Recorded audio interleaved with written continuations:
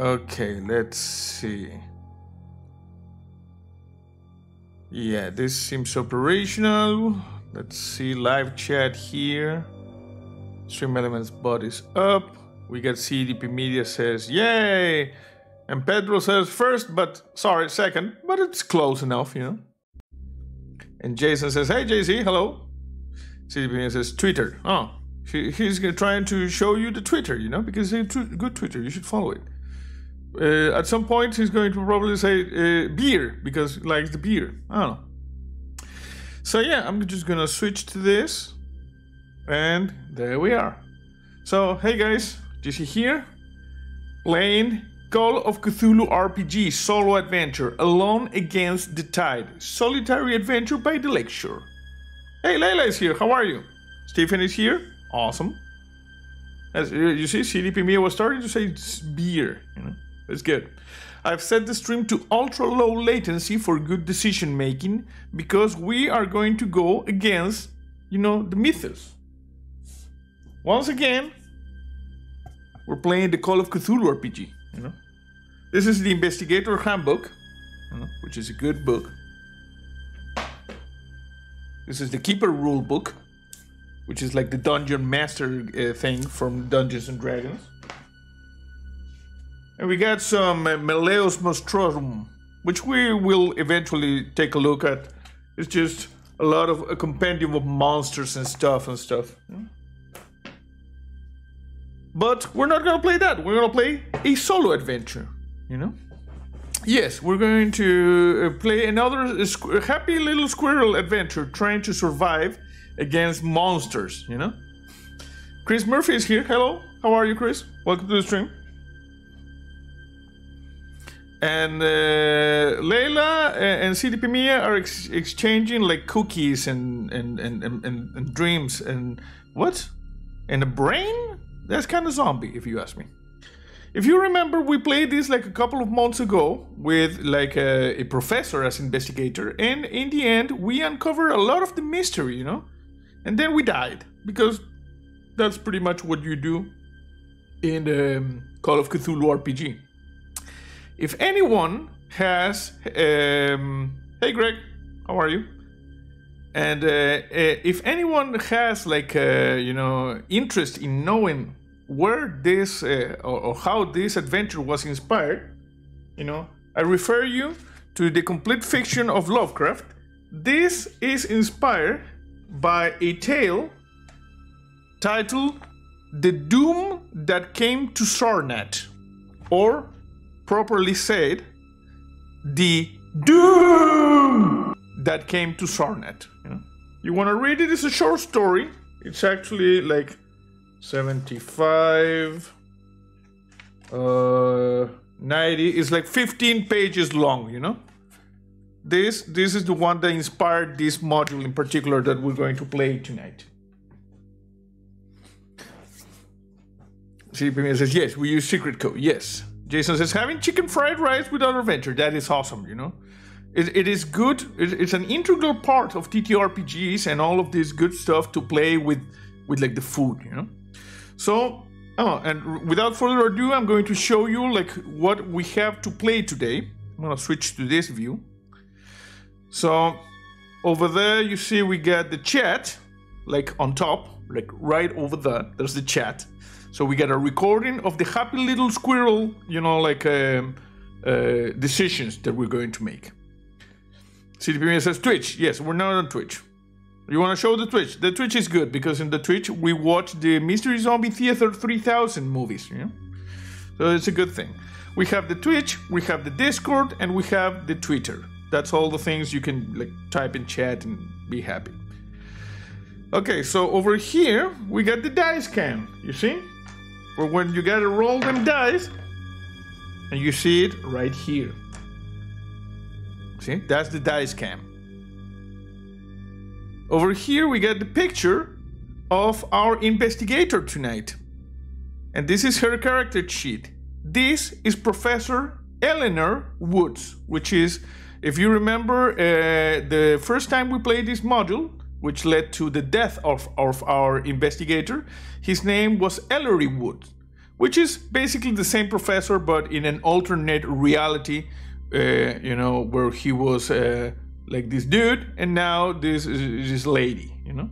But stats are the same, and I don't, I don't know if the story changes if you play male or female characters, but we will see, you know. So this is her. You meant Discord? Yes, yeah, Discord, Twitch, and Twitter. Those are the three things. Um, so this is her character sheet. Um, and well, of course, this is the module. Alone Against the Tide, Solitary Adventure by the Lakeshore. Let's take a look a little bit at the um, at the why is the Discord not working? Oh, there it is. There's the Discord. Um, let's see what we have with Eleanor Woods. She's a professor, as you can see, uh, age 40, and she comes from uh, she she comes from Boston, Massachusetts, and she currently resides in Arkham, Massachusetts. This is her picture. As you can see, she has like the fancy uh, thing here and, and a hat, which is good, you know, because it prevents from when the monsters attack, you know, you have the hat. Um, and these are her stats strength, constitution, size, dexterity, um, uh, what was app? Um, appearance, education, intelligence, and power, you know. And Chris Murphy said, Yeah, Boston. Yeah, she's from, Boston, you know. And um, remember Call of Cthulhu? Basically, what you need to remember is this is a system that uses percentages, you know, so numbers between 1 and 100. So, for instance, Eleanor Woods, she has 70 in intelligence. That means she has 70% chance of succeeding in a check against intelligence you know that's how this works so you have to roll the dice normally you you roll this dice. You roll this one and this one. Or actually this one and this one. You see? 74 let, let me see let me show you. That roll was 74 so we failed, you know? We need to roll 70 or less in order to succeed. Now we roll 3. You see? Let me just take away the dice cam. And in order to succeed, you need to uh, get the same amount or less as the number, for instance, 70. 35 is what we call a hard success because you need to roll under half of the, the, oh jason did the for another fun saturday night adventure thank you jason thank you very much it allows us to buy dirty things and you you you're funding the next adventure you know? Which i don't know there's a lot of these modules. We're gonna keep playing them. So thank you. Thank you very much. As you can see 35 which is half her initial value would be a hard success. And 14, which is one fifth or her initial value, will be an extreme success. That is basically how this game works. You know, you have your percentages in different things, and if you roll under that, you succeed. You roll over that, you fail. And if you roll under half that, is a hard success. If you roll under a fifth of that, is an extreme success. And that's it. You know? Hey, Paul is here. Says, become part of the Discord. See my complete graphic novel collection of The Boys. Wow, nice. I actually also have the complete graphic collection of The Boys, but not in, in paper, you know? I have it in digital. It was on the Humble Bundles a, a while ago. So yeah, uh, let me just check a little bit of the, um, the the character sheet. Her sanity is at 50. She, she is normal, as you can see. Magic points are 10. Luck, nothing because we need to roll for that when we start the adventure. Hit points are 11. Some of the investigator skills, you see 45 in fighting. She she's pretty good at fighting apparently, you know, she can kick kick your ass. We got 17 in archaeology and 16 anthropology, 16 credit, that's good. She has a lot of money, you know. Survival 50, Well, and uh, locksmith 50, that is actually good. Psychology 50. Language on English 80. Wow.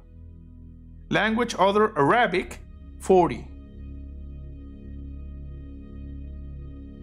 Uh, her proficiencies just in time for the sheet. Yes. We're just taking a look at the, at the sheet, you know. She has 15 dodge, Backstory Personal description A white woman with heavily tanned skin, dark hair, and brown eyes.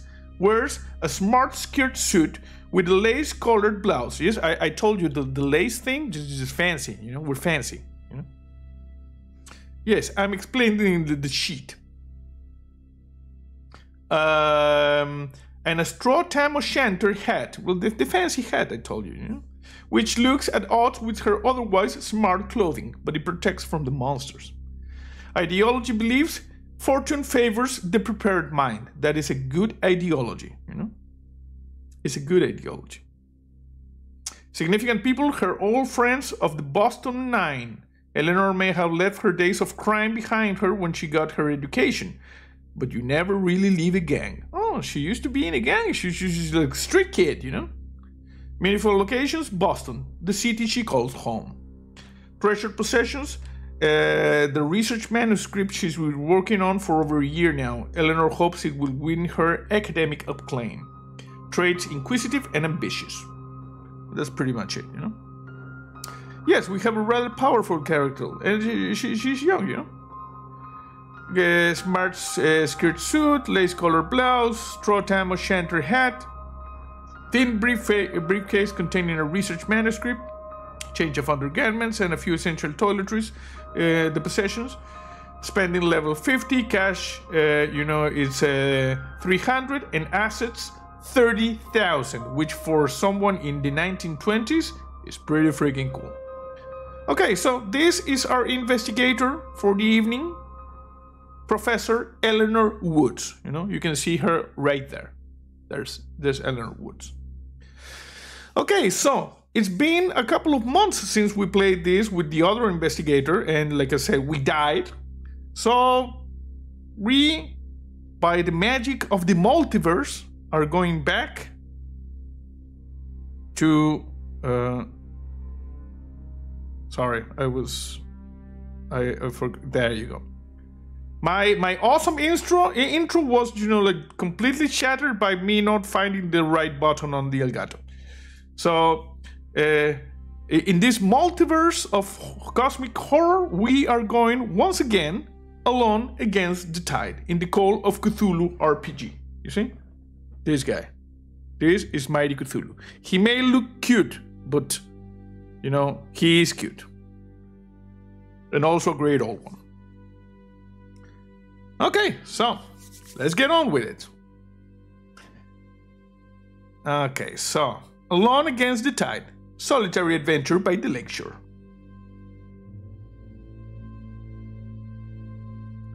This is one of the monsters, you see? So, uh, Alone Against the Tide is a solo adventure for the Call of Cthulhu role playing game. Unlike a standard game of Call of Cthulhu, the adventure requires no keeper, you know, the dungeon master, as it is a solo scenario. In fact, you are both the keeper and the story main character. You can take on the role of investigator of your own design if you prefer one of the two ready-to-play investigators provided. Dr. Ellery Woods, page 80, or Dr. Eleanor Woods, page 78. They are referring to the character sheet, you know, the, the character sheet, and we're going to play as Dr. Eleanor Woods. Depending on the investigator you play, your reasons for traveling to the quiet, affluent lakeside shore in which the adventure is set may vary the horrors your character experience, and how much of the mystery affecting Esbury you manage to solve depends on your choices throughout the game. Hey, Living Light, how are you? We're just starting, you know, you just got here. We, we just checked the character sheet. This is our investigator, Dr. Eleanor Woods. We're good to go. For all its scenic beauty and charm, Esbury is a dangerous place, and there is every chance that your investigator could die as the as the events of Alone Against the Tide unfold, like it happened, you know, like a couple of months ago when we played this the first time. Thankfully, though, you can attempt this scenario as many times as you want to. You can also choose a different investigator or create a new one each time you play to help you explore the various challenges and pathways this story has to offer. What are you waiting for? Esbury's fate is in your hands. Okay. So, we got the copies of the Call of Cthulhu Keeper and the starter set. Yes, we haven't. They're not necessary, yeah, but it's good. You intend to use Dr. Ellery Woods or Dr. Enor Woods, copy or print out the relevant uh, investigator sheet. We have them. This is the sheet. You know? And here we go. Getting started. Before you begin play, this this is the, the, the investigator you was used last time. Remember? This was the jackass. Ellery Wood. Hmm? He was a bit of a jackass. He died. Before you begin, you will need a set of role-playing dice. We have them role-playing dice, you see. A pencil and an eraser. Well, in that scenario, I have the clipboard, you know, and I'm going to be using the clipboard. I'm just gonna move this a little bit back because, like I said, I'm going to be using the clipboard to write down the thing. Investigator Poop Face, yes, exactly. And he died because serves him well. The digital copy definitely looks better, but I miss the thick paper.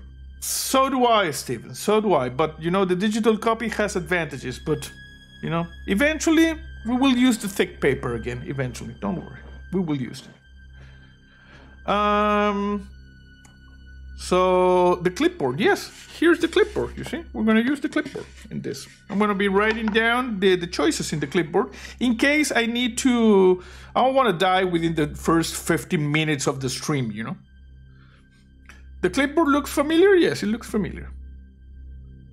Um, this adventure is designed to lead you through the basic rules of character creation. Yes, we don't need those because, yes, the, the clipboard is looking nice. Because we already have the character sheet.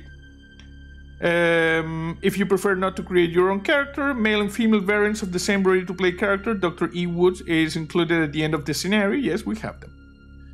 Okay, you have a pool of 70 bonus skill points to spend on any skills for Dr. Woods. This can include increasing those skills already allocated points or choosing other skills to broaden out Dr. Woods' abilities. Just add the bonus skill points divided up whatever you wish to the base skill values uh, written next to the different skills on the investigator sheet. Okay.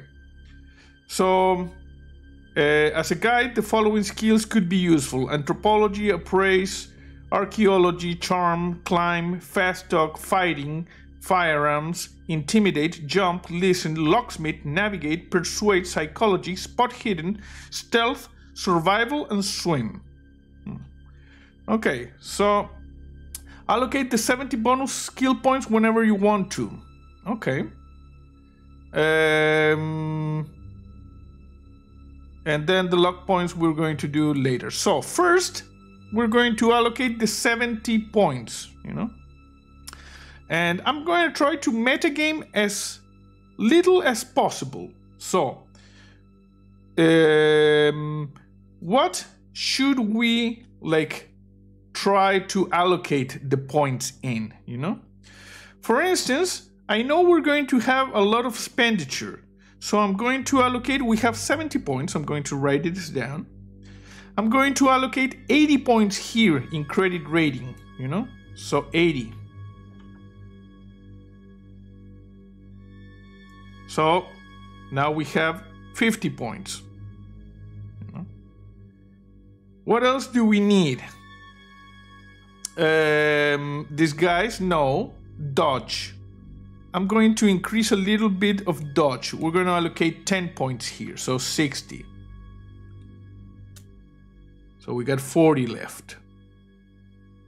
Yes, we don't joke. Uh, uh, we don't uh, joke about this sheet. You know, it is a good sheet. Fast talk. Should we try a little bit faster? 50 point to laser eyes. Yes, that's. I think that would be a little OP. So for now, no. Fighting 45. Psychology uh, let me see. What do we have here? Psychology, she has 50. So it's actually pretty good. Uh, I'm going to try... Let's see what else do we have. Persuade. This persuade is kind of low, if you ask me. Uh, jump. Sleight of hand, spot hidden. Spot hidden is kind of low, you know. I'm going to allocate. I'm going to allocate. Um, we got 40 points left. I'm going to allocate 20 points additional to spot hidden, so it's 25 plus 20, so it go, to goes up to 45, you know? And we got 20 left. Some persuade. Yeah, we need some persuade. You know what? Screw it. I'm gonna allocate the final here, the final 20, 60. And that's it. Points allocated. And as you can see, it all it is all written down here on the clipboard. That's what you use the clipboard for. Okay, the 70 points have been used. Let's just go back to the module. Okay, so reading this book, yes, I know the bonus penalty dice. Um, the dice means that since this this uh, system you need to roll 100% uh, and you need to go lower than the value you have. Uh, a bonus die allow you to roll another tens die and use the lower of the two results and a penalty allows you to roll a second uh, tens die and use the higher result you know you will see during the, the, the play combat we know insanity we're good. Um, let me see. Um, luck points? No, we still not need to do the luck points. Reading the book for more on bonus, combat, using luck points, for example, if you've killed. Okay, now we need to work out how many luck points our investigator has, you know? we need to roll a 3d6. So let's go to dice camera. And a d6 is this one. It's the classic, you know, die that you use in tabletop games. So we need to write uh, to roll this three times, you know. So first time, here we go. Big money, people. Big money. Two. That was not very big. So I'm just gonna write down two. for using the luck points. Remember, the luck points is, a, is an optional rule that allows you to spend luck in order to change a result that uh, you know you could fail or something like that. Five. That was a very good roll. And one more. Come on, people. Big money. Big money. okay, Cthulhu, blow on this. Listen. Yes. Look at this. When Mighty Cthulhu blew on the die, it's six. Okay. So we got 13. And we need to multiply by by 5? Yes. So uh, 13 is 15, 50, 65. So our luck is 65, which is actually a pretty, pretty good roll. So let's just hide the dice cam, go to the character sheet. And our luck points are 65 right there, you see? Yes, of course Cthulhu rolled a 6 for you in his, it's his game, of course. Meowth uses Payday. It is super effective. That was a Pokemon reference for some reason. Hmm? And Purot says, Classics RP best role-playing game. You're the one, JC. Thank you. Okay, let's just go with this. Okay, so, um, using the luck points, insanity. Yeah, we have the insanity starting. And here we begin alone against the tide. Okay, people? Crack your knuckles. Do the thing because we're gonna fight some monsters. so, and here we got the picture of Dr. Ele Eleanor Woods, you know, which is our investigator for this evening. So, I'm gonna put like my my adult voice on. Okay, start.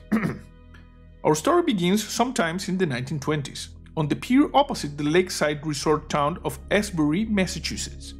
Your investigator's reasons for uh, visiting the town are discussed in the relevant entries. Read through the introduction and getting started sections and gather everything you need. Then, when you're ready to begin, go to number one. So now we go to number one. One.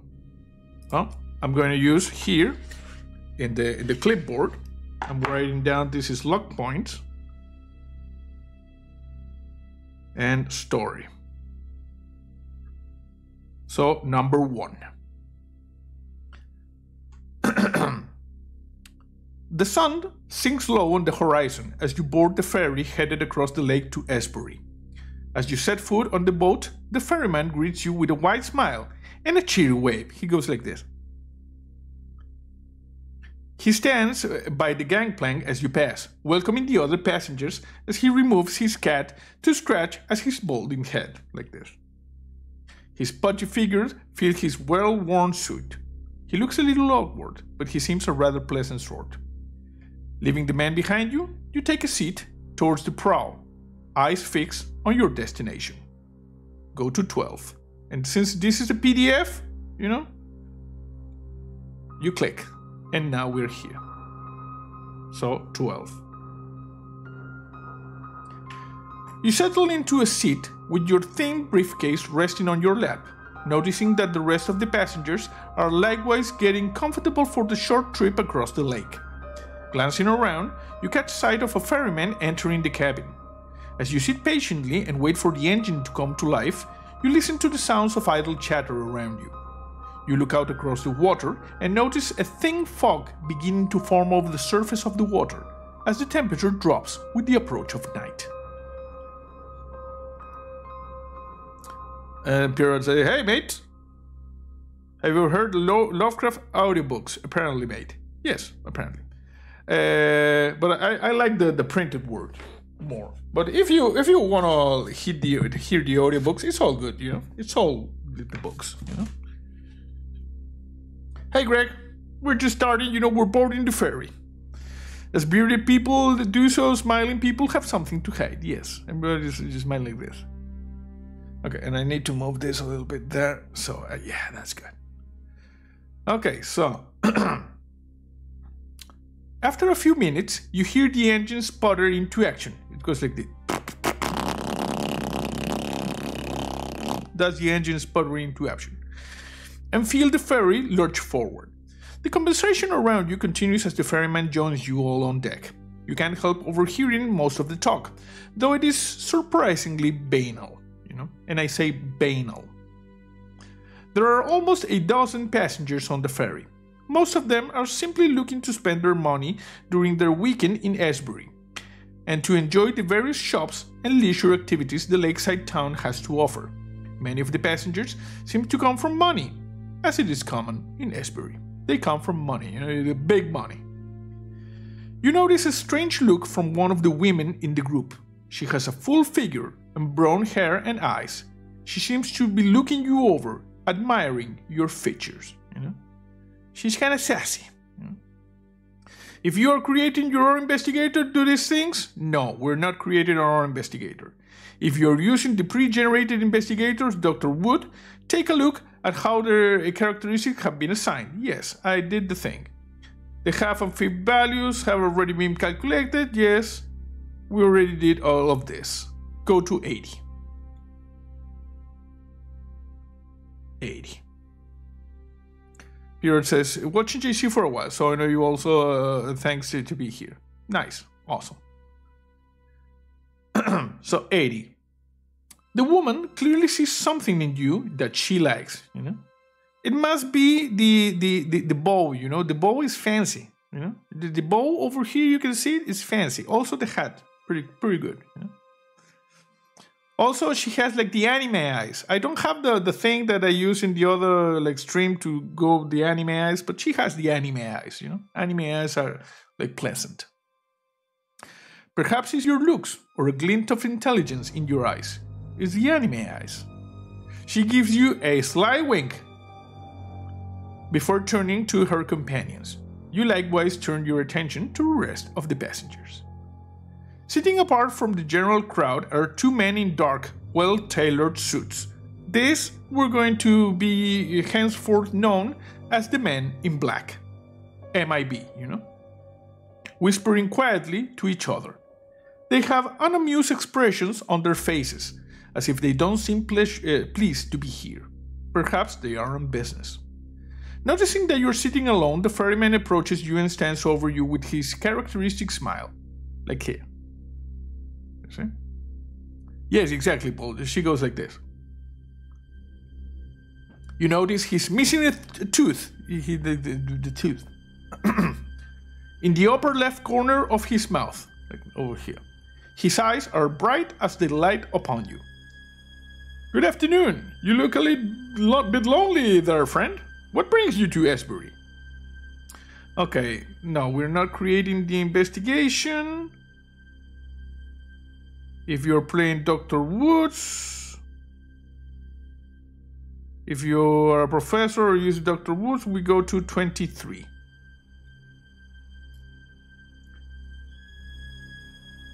So 23.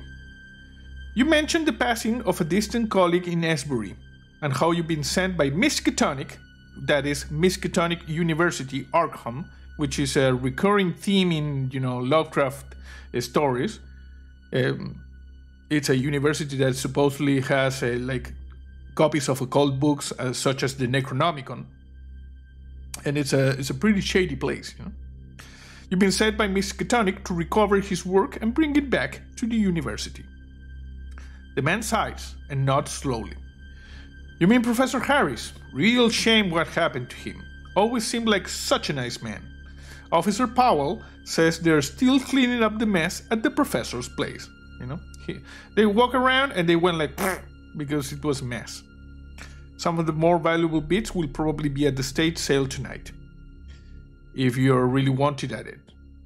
The man looks down at his hands for a moment, and then back at you as he extends uh, one your way. Anyway, I'm Lance, Lance Sanford. Pleased to meet you. But I wish it were under better circumstances. Okay, so now we can inquire about Professor Harris, we can inquire about Officer Powell, we can ask Lance Sanford about himself, we can ask about the estate sale, or we can just pass the time. So, what should we do? Harris, Officer Powell, so Harris, Powell, Sanford, the estate sale, or pass the time? What, what do you think we should do? You know? Should we inquire about Professor Harris? You type Harris. We type about Prof- uh, uh, Officer Powell. You type Powell. We talk about Lance you talk Lance or Sanford about the estate sale, or just you pass the time. Jason wants to talk about Professor Harris. Stephen says about the sale, about the sale. Living Life says about Harris. Okay, we got two Harris and two sales. And Pierrot says sounds like the shadow over in Dunwich. Yes, but I would like to know what would you like to do? Do we uh, inquire about Professor Harris, Officer Powell, about Sanford, about the estate sale, or do we pass the time? Layla says Powell because that was not uh, one of the options uh, people had voted. So now we have two, two, and one. Three and Powell. Okay, so we got three Harris, two sales, and one Powell. I'm just gonna go ahead and ask about Harris. So we go to 20, uh, 27.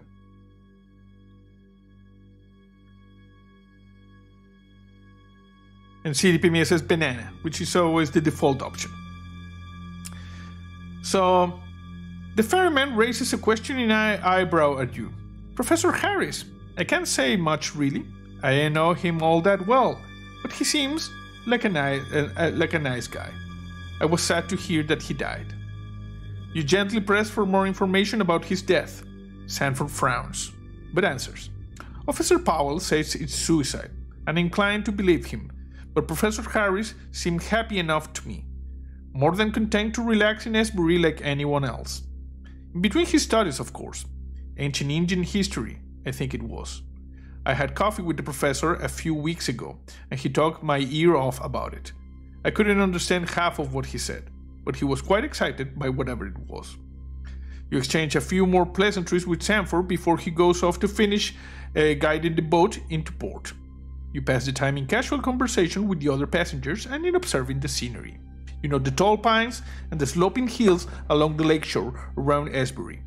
These features and the small town beyond are just visible through the growing mist, but squinting helps make them out uh, to your satisfaction.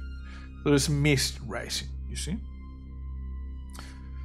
Um, we need a tiebreaker, Banana, no pass the time, Harris, Powell too. Well, we asked about Harris, you know, and we knew that uh, they suspect it was suicide, uh, the passing of the professor, but he thinks th- that's weird because the professor was happy talking about his studies. In time, you arrive on the pier at Esbury, grateful to be off the water. And now we go to 3.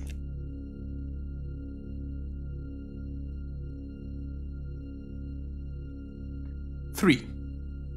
You take your first steps into the pier with the rest of the ferry passengers, trying to get your hand, uh, your land legs once again, because in the boat you want like this, you know. The passengers still chat casually as they walk off to their destinations. You note one last flirty wink from the full figured woman as she struts along. She goes like this. Yes, Kanos 83. Assisted suicide, also known as murder, know. He he he fell onto some bullets that were uh, on her way, uh, going his way, or something like that. And the, the, the flirty woman, she went like this. And Greg Collins says, I have to go watch baseball with my mother and stepfather. Are you going to do this uh, again next uh, Saturday? No, next Saturday. Next Saturday we have a Transformers stream. But we will do this eventually again. And there's like three sessions of this already on the playlist. So you can watch those. It's very, very cool. You know? So yeah, we will play this eventually. But like I said, next Saturday, Transformers stream. So that's going to be awesome. Yes, Paul, exactly. She went like this.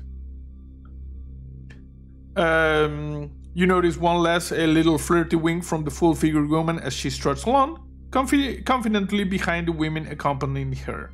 And you feel the two dark suited men, the men in black, you know, uh, push past you at a brisk pace, nudging you out of their way. Like, why? What the hell? You know? Sanford gives you one last wave and a smile as he begins tending to the old rust stained boat that is his pride and joy. The last light of the sun is fading fast, and the fog is growing thick on the water now. It's going thick, you know. The night is still young, but you would rather not be wandering around in the dark and fog of a town you are unfamiliar with. Taking in your surroundings, you see a sizable crowd jockeying uh, for entrance into a lavish, modern looking building along the lake's uh, side. A folding sign uh, sits out front, illuminated by a lantern. The words Estate Sale Tonight are written on it in large, bold letters. Well, this seemed to be the main uh, attraction. You could also seek out somewhere to stay for the night and set about your work in the morning. If you have not done so already, calculate your secondary attributes as per page 7, book 2 of the Call of Cthulhu starter set. We already did that. Okay, so uh, thank you, Greg. Yes, see you later. Yes, Polly was the thick. And Jason says, I'm interested in the story of the Winking Woman. As I understand, if I remember, that the Winking Woman, you know, she was the widow. You know, we, we might see her again. So, what do we do? Do we go to the estate sale or we search for somewhere to stay for the night? What should we do? Do we go to the estate sale or we find somewhere to stay for the night? Stephen says sale. Yes, estate sale. Yes, that would bring more, you know, like plot, you know. Although remember that not metagaming, but we know what happened at the sale. This could have been a different, uh, an opportunity to try a different path. Although I believe the path just circles around. Yes, everybody says sale, so we go to the sale. You know, do not be afraid to take, you know, like chances. Don't behave like a happy little squirrel, you know? Yeah, she was the widow. Okay, we go to the sale, you know? 15. No happy squirrels, yes. 15. Pushing through the crowd, you make your way towards uh, the, the estate sale. Judging by the numbers of people uh, packing into the dance hall, this seems to be quite the event. Most of the people here are well dressed, with conspicuous amounts of jewelry and designer clothing on display. You see a broad shouldered man in a policeman's uniform standing by the door. He has a scarred yet clean shaven face and a baton at his side. He has the stick, you know, and if he sees you doing nasty business, he just hits you and he says, Charge my stick! And he hits you. Yes, no happy squirrels, just sad squirrel. Okay. Yes, because if we get happy squirrels, probably a monster is gonna chomp on our asses and we're gonna die. His brow is furrowed in a serious expression and he watches the commotion through narrow eyes. So he's like this. You see, I, I provide with the performance. You know, if you want to visualize what I'm reading, uh, you, you, can look over here, and uh, I will be providing the performance. You know, unhappy squirrel seems sad. Yes, exactly. As you mingle with the assorted academics and collectors, you notice a few other faces that stand out in the crowd. Most immediately, you spot a man in flowing orange robes with tawny skin. He seems more than a little out of place and garnering some odd looks from the other guests. Which is this guy, you see? Banyu. He's like a monk, you know, with the with like the toga, you know. He has like like the, the happy expression, you see? This is the, the, the, the monk. JC, do you have to refresh your stream? I do. What? I, I think what what? I don't think I have to refresh my stream. We're good. I'm not missing things. Maybe you need to refresh yours. So, um, where was I? We're, you're good. You're good. Yeah, refresh yours, uh. Uh, oh yeah, we were describing this guy. You know. Uh, glancing around uh, further, you happen to notice the two dark-suited gentlemen from earlier, the MIB, you know, men in black, uh, standing in a corner toward the front of the room, talking to a young dark-haired man in a dated yet elegant long coat. He is of a slight build and has rather sharp features. A thin wisp of a mustache hangs beneath his nose. You know, the mustache. Yes, the MIB exactly.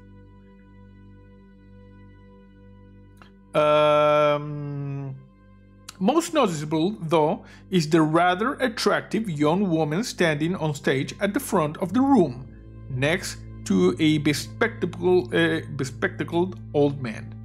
Long black hair cascades down her shoulders, accentuating her pale features and complementing her formal black dress. Occasionally, she and the older gentleman peek at objects hidden beneath white sheets the sale items waiting to be display, uh, displayed. Okay, so uh, what Dracula? I don't think it's Dracula. You know, it's, a, it's the lady. Or you were talking about the guy with the mustache. Who knows? We got a lot of choices, people. So we could mingle with the crowd of guests. We could go to speak to the officer at the back of the room. You know, hey, Bardio, welcome to the stream. We could go and talk to the guy in orange, you know, this dude over here with the happy face. We can uh, go talk to the MIB. We can go to, uh, towards the stage and the woman, and we can just leave, you know. The monk has built-in evacuation with those ears. Well, he has, you know, like, uh, he has big ears, you know. So what do we do? Do we mingle? Do we talk to the officer? Do we talk to the monk? Do we talk to the MIB? Do we go to the stage? Or do we leave? Layla says mingle. Living Life says guy in orange. Stephen says mingle. Okay, we got two mingles. What do we do? Do we mingle? We talk to the officer? we talk to the monk, to the MIBs, we go to the stage and the woman, or do we leave? Okay, so we got mingle, mingle, mingle. We got three mingles, one stage, one, uh, two MIBs. So apparently we are going to mingle. Let's mingle. Yes, mingle with bananas. Okay. We're gonna mingle, we go to 34. 34. This documents looks like being out of a Lovecraft character. Well, this this is the Call of Cthulhu RPG, so stands to reason. Just a second.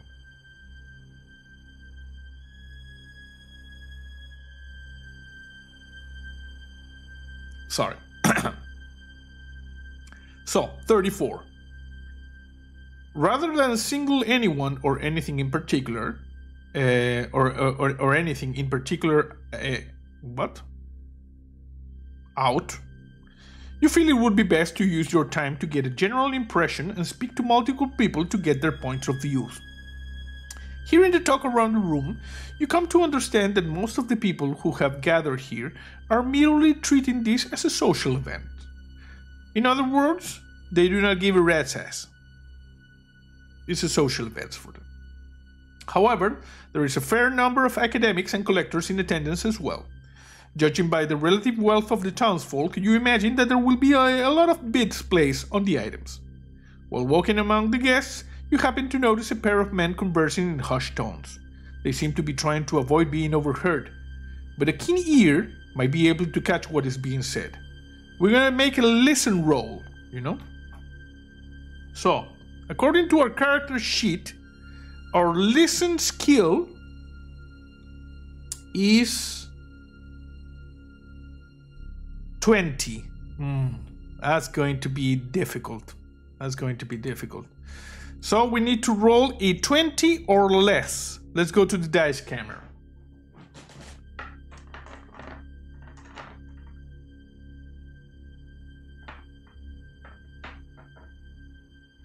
Okay, people, we are going to roll. We need to roll a 20 or less. Big money, big money. Let our ears be as big as the monks. Yes. Okay, Cthulhu, uh, blow on it. Okay. Well, that was not not a good uh, roll. Sorry, Cthulhu. 54. You know? In other words, we could not hear of what they were saying, you know? So we failed. We go we go to 44. And I don't think I'm going to use luck points because we would have to use 10 luck points. And I, I don't think this was that interesting what, what they were talking about. So we failed. We go to 44. Too bad we're not the monk. Listen skill over 9,000. I agree. Okay, so let's get rid of the dice cam. So we're as half dead as I am. Yeah. 44. You strain your ears trying to overhear the huddled pair's word, but the noise of the other conversations around the room drowns out what it is said. Go to 17. We go to 17. Okay, and apparently someone died here. I don't know. 17. Um, you have begun gathering information in Esbury. Would you like to interact some more? You may now select another option from those listed. Do not repeat the choice already selected. Once you have chosen three options from the list below, or before if you are ready to move on, go to 35. Okay, so we need to uh, three options and um, we already use one, you know. Note that selecting the leave the hole will make you ineligible to make further selections from this list. Okay, so we did one. Now we can do two more, you know, uh, selections from the same list as before. We already did the mingle, so that's not available. So what would you like to do? We could go talk to the officer. We could go talk to the monk. to the MIB, go to the stage, or leave. Yes, weird, uh. Really weird. So what do we do? Officer, monk, MIB, go to the stage and the woman, or leave? Jason says MIB, Steven says MIB, Living Life says MIB. Yeah, because the last time we did not talk to the MIB. You know what? We're gonna go and talk to the MIB. Okay. Let's go to the talk to the MIB. We go to 60. And we're using a second option to investigate. 60. You approach the huddle group and introduce yourself to them, stating that you recognize them from the ferry. The two men from earlier appear annoyed at your presence and are visibly irritated. Scram, man, we don't know you. You got nothing to do with us. Mean, his voice was just mad. You know, it might be, but keep your eyes shut. Yes, because of the. The third man seems likewise bothered and frowns at your intrusion. He goes like this. You know, I'm acting. They certainly make you feel unwelcome. Ignoring you in hopes that you leave, the two men in suit turns their backs to you. You see the jacket of each suit shift oddly, as if it is ill-fitting. We're gonna make a spot hidden roll. Okay, spot hidden should be better because spot hidden. And Paul says anger J or K, maybe eh, agent J or K, or M or O, you know, or double L. By beep, I mean something beeped. Also, I beeped a long time ago period, so you might want to refresh your stream. Okay, so spot hidden. So spot hidden, we got 45. So we got a 45% chance of succeeding. Let's do this. Come on. Big money. Oh yeah. Your your phone needs to know that you mean agents, you know?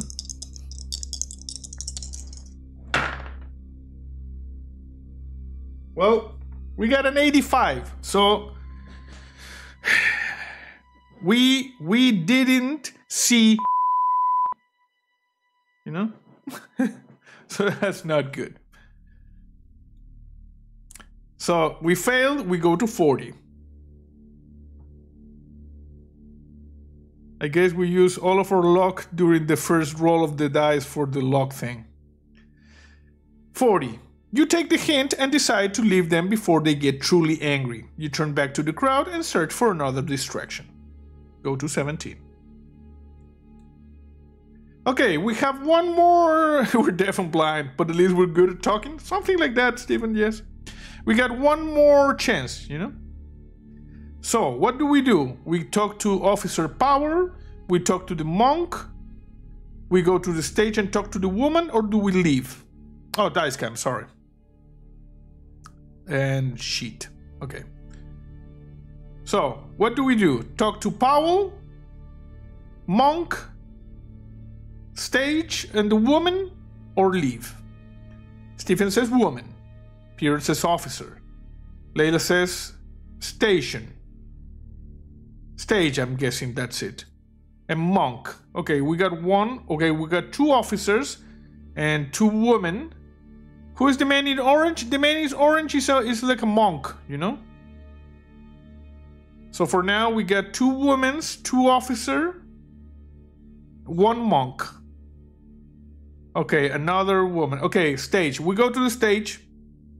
We go towards the stage and the woman. Go to 22. Stage banana, says uh, CDP Media. CDP Media, you might want to like push live on your stream. I think you are either, you know, like having a beer or way back on the stream. Hmm? Okay. 22. You made your way to the stage, navigating around the many guests in the dance hall. Your eyes lock firmly on the woman, and hers rise to meet you as she looks up from peeking at one of the, the hidden objects. She stops what she's doing as you approach, and a smile appears on her lips as she notices that she's caught your eye. She goes like that. She rests her left hand on her hip You know, like this.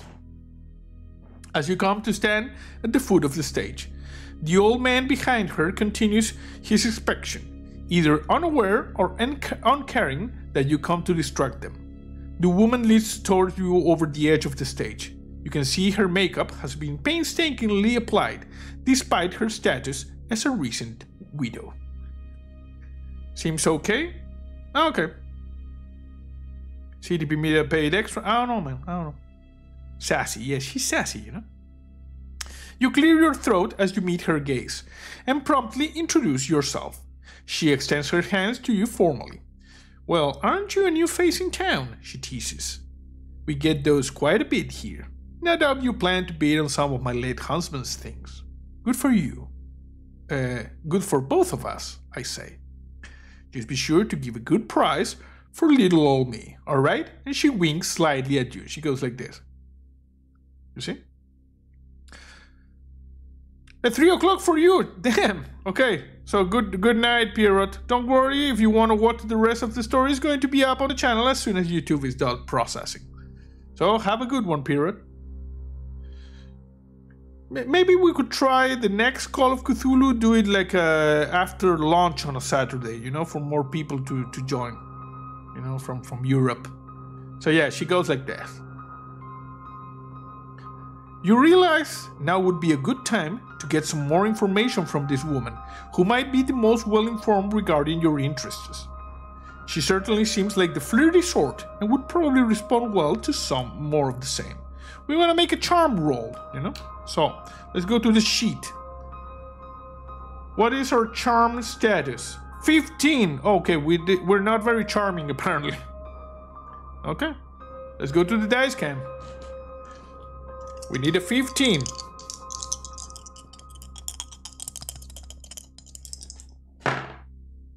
Wow! Incredible! One. This is the most extreme success possible. We rolled a 1. You know? Which in D&D is just bad, but in Call of Cthulhu with, uh, you know, like uh, uh, percentages uh, systems, this is the most extreme success, you know? So we're extremely charming, it seems. Extremely charming. So that was just brutal. Absolutely brutal. We charmed, you know, we charmed the out of that woman. That was awesome. Okay, so I'm just gonna get rid of the dice cam and the character sheet. So we succeeded. We go to 43. That was awesome. You take her hand in yours and bring it to your lips, keeping eye contact with her as you do so. You see? we're being we're being smooth and, and, we're maintaining eye contact. Like I said, we're deaf and blind, but we talk real pretty. Yeah. Character is a lot like me, except charm. I'm not that charming, lol, says Jason. Well, our character, Dr. Eleanor Woods, is charming, you know? Is charming. And Paul says, Jason, are you at least a prince? I don't know. He may he may listen to music by Prince, but I don't think Jason is a Prince. So we we did the, the, the kiss in the hands, you know, while keeping you know profound eye contact. She giggles and her smile grows wider as she regards you with interest. My, aren't you the charmer? If I weren't a widow, I'd be thrilled. But I still must mourn my husband, you understand. He was a stuffy old goat and obsessed with his studies. I have no problem selling his things, mind you, but that's because I need the money. Girl like me gets used to a certain standard of living after all. But I can't very well go chasing after the fifth suitor who comes to replace him, no matter how fetching. She winks at you again and rests her hand on your arm and lowers her voice to a whisper. But perhaps you could join me for a drink later. I have a little bit set aside for good company. I won't tell if you don't. She seals the conversation with a final wink before lifting her hand and turning back to the stage and its hidden artifacts. we have been invited to take a drink later. You know, I'm gonna I'm gonna write it down over here. Drink later. Nice. Go to 17. And we're done.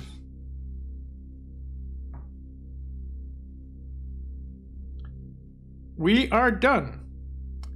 So um, you're ready to move on? Go to 35. Okay, we go to 35 now.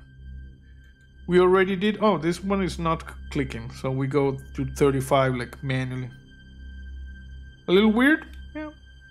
Everybody's kind of weird. 35. The murmuring of the crowd dies down, and people begin to gather around the stage as Emilia and the older gentleman call, uh, call everyone to attention. You know? The widow strides confidently to the front of the stage where the lights are centered. But is she thick? says Canis. We, we don't know. She she she is a full figured lady. That's the description. You know. I don't know if she's you know classifies as thick. You know. But she she likes to wink. She's kind of flirty. She flashes a broad smile and the crowd uh, at the crowd and begins to speak. She goes like this. Good evening, everyone. I'm so glad you all could make it tonight. As you all know, my husband recently passed, and uh, well, at this point, Emilia begins to tear up theatrically, you know. So much that her makeup begins to smear. She produces a handkerchief to dry her eyes before continuing. Well, I'm very upset. I miss my poor William very much, and I don't know what I'll do without him. And that's why I brought you all here tonight. I hope you can find some use for his collection, and I know that he would be happy to see his things go to those who value them highly. I hope you'll show this poor widow a kindness by finding something you like. But now let us begin. I'll leave the auctioning to Mr. Warren.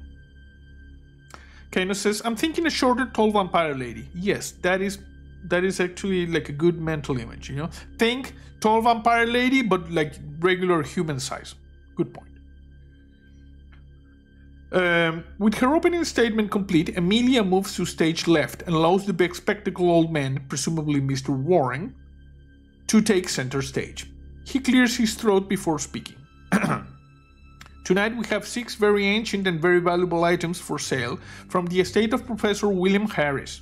Though exceedingly strange, I have deemed these items to be authentic to the best of my ability. I have placed a ballot box slips of paper, and a pencil on each of the six tables, next to the item for sale. If you wish to bid on an item, simply write your name and the amount you are willing to pay for it on a slip, then place it on the box. The item will be sold to the highest bidder. All of the proceeds will go to the wife of the deceased. With that, Mr. Warren removes to reveal the gathered items. Go to 70. So it's a blind auction. I think a blind auction is um, a Dutch auction, right? Oh. 70. Mr. Warren approaches the first table and removes the cloth covering the reveal an odd pair of clay cylinders covered with strange etchings. They are small and seem quite fragile, with large, large cracks running down their sides. So, weird cylinders, you know, clay cylinders. Mr. Warren proceeds to the next table and likewise uncovers the item in question. This one is significantly larger and more ornate. It appears to be some sort of altar or reliquary, heavily decorated with yellow-green gemstones. Yes, a shorter vampire lady would be a looker too. Yes, indeed. However, there is one similarity with the first item the presence of the same strange written characters, though these ones seem to have been painted on. The old scholar turns to the next item in question and displays it for all to see a decorated crown of solid bronze, wrought with the image of a Hindu god. The next item is certainly the most mundane a large, thick, leather bound journal that appears well worn and beaten, with several loose papers jammed between the pages. Mr. Warren senses the confusion of some members of the crowd and clarifies that the notebook is the assembled personal works and studies of Professor Harris. The item that follows the journal is a well preserved ceremonial robe of a Brahmin priest. The cloth is pure white. The last item is perhaps the strangest of all. It is a small statue or idol, presumably of one of the many deities of ancient India made from a blue-green stone in the shape of a rather grotesque lizard-like creature, the craftsmanship is crude and gaudy, so much that it appears fake. People begin moving among the items, looking them over and conversing quietly. Okay, we can make either an appraise or archaeology roll. So, let's go to the character sheet. Appraise, we got 5%, so that's bullcrap. Archaeology, we got 70, so we're going to do an archaeology roll because we got 70. We're good at this. We got a 70% chance of success. So here we go, people. Big money, big money. We need 70 or less. We got 54, so we succeeded. You know, just just like that, we succeeded. So, Big money, yes. We go to 45.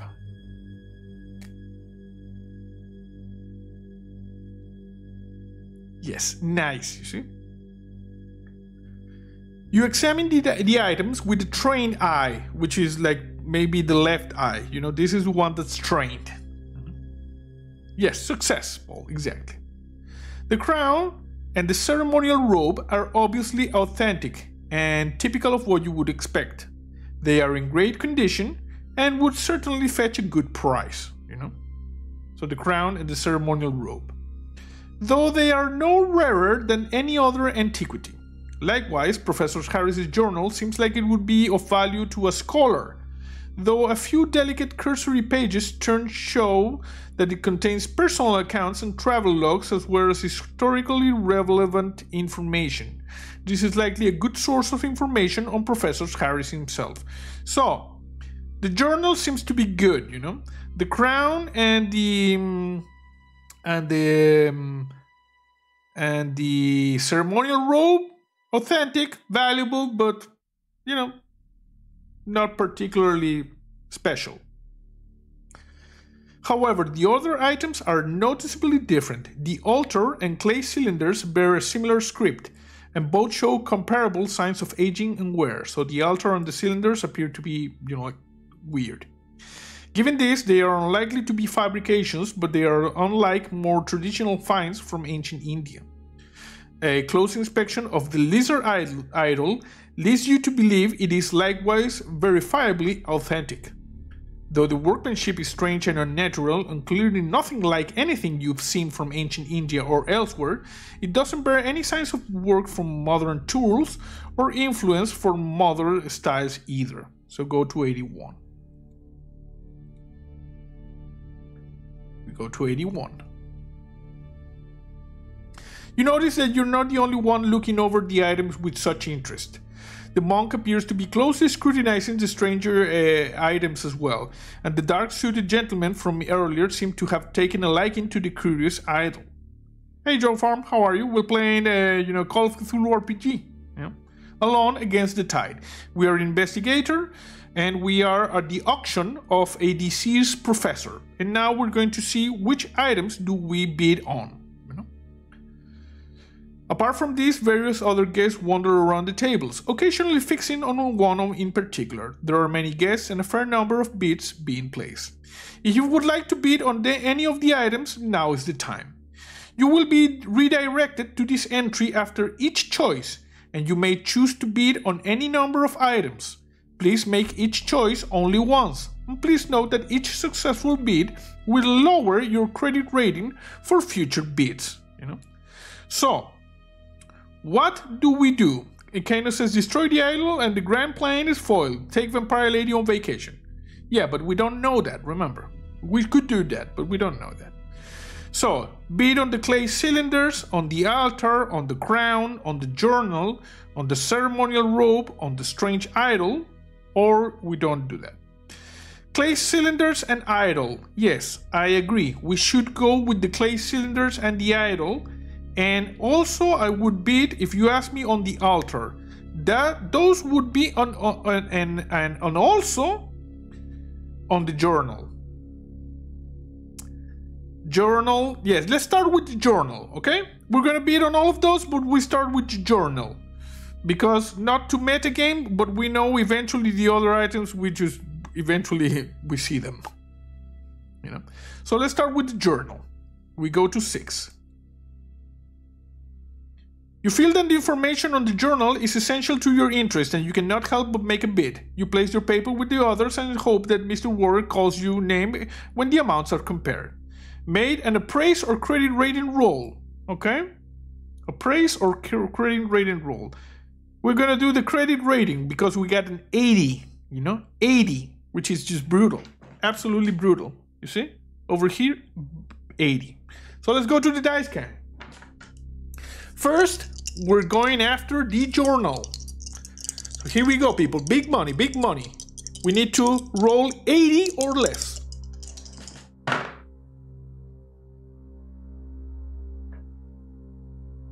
Which is this one?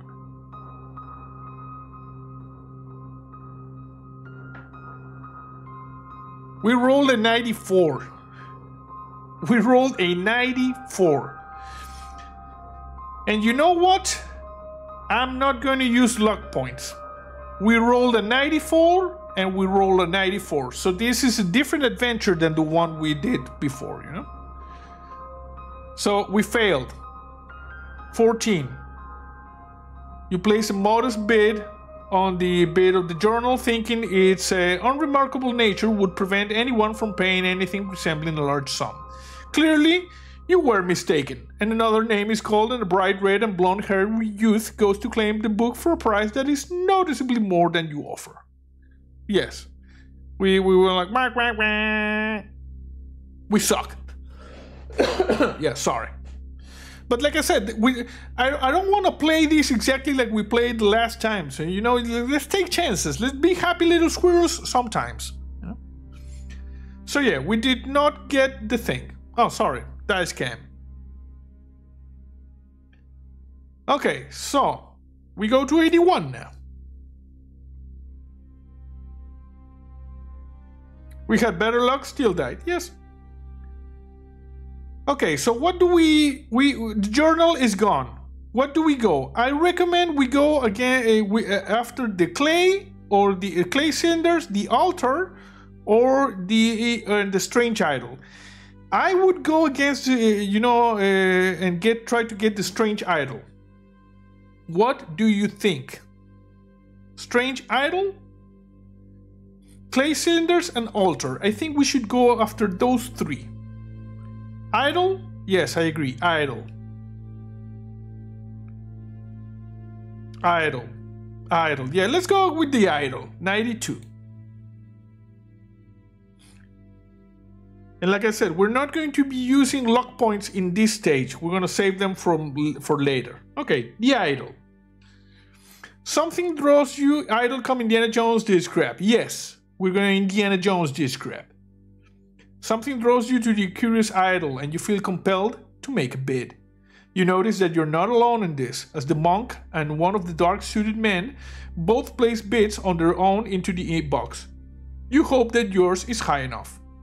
Okay, we're gonna make a, again an, a, a, credit rating. Okay, so sheet credit rating is still on 80 because we did not succeed the other one. So let's go. Yeah, what could possibly go wrong? Dice cam. Big money. Come on, Cthulhu, blow on this. Okay. 38. So we succeeded. Hey, Pongo, how are you? We're playing Call of Cthulhu, you know? Um. Oh, here we go. Yes, we succeeded. So we go to 86. and we got the idol. Didn't say that extreme uh, uh, difficulty. No, it did not, I think. Let me go back. 92. Oh crap, you're right. Both with extreme difficulty. Whoa. You're right. Good eye, Steven. And like I said, we're not going to you're not going to use dice roll. So we failed again. Crap. No, no, it's good eye. You know, we, we gotta keep it honest, you know? So, if you fail, go to 154. So, let's go the thing and the thing. We failed to get the idol. Though you put a sizable bid for the idol, a truly outrageous sum is called, easily twice what you offered, you know? Mr. Warren squints hard at the paper before calling out the staggering price and an unfamiliar sounding name, Banyu, which if you remember is like the monk, you know. But it's good. This this fleshes out the story. Yeah, the story. Yes, denied. Yes, sad squirrel. Confused whispers break out as the orange-robed monk collects the statue with a look of excitement on his face. You know. And if you want to know what that monk looks right now, you know that monk looks. Let me just find it. I'm just gonna quickly find it because I know he's somewhere around here. This is the look of the monk right now, you know? This picture was taken as soon as this guy got the things, you know? He is happy. So, let's be happy for him, you know? He's happy. Okay, 154. 154, 154. There you go go to 81. Hey, sometimes you make a you, you make a monk happy. You know, he looks happy, yes. This is probably a good thing, yes. Okay, so the um, the journal is gone. The idol is gone. Now we need to I'm going I'm going to say we go for the cylinders and the altar, you know?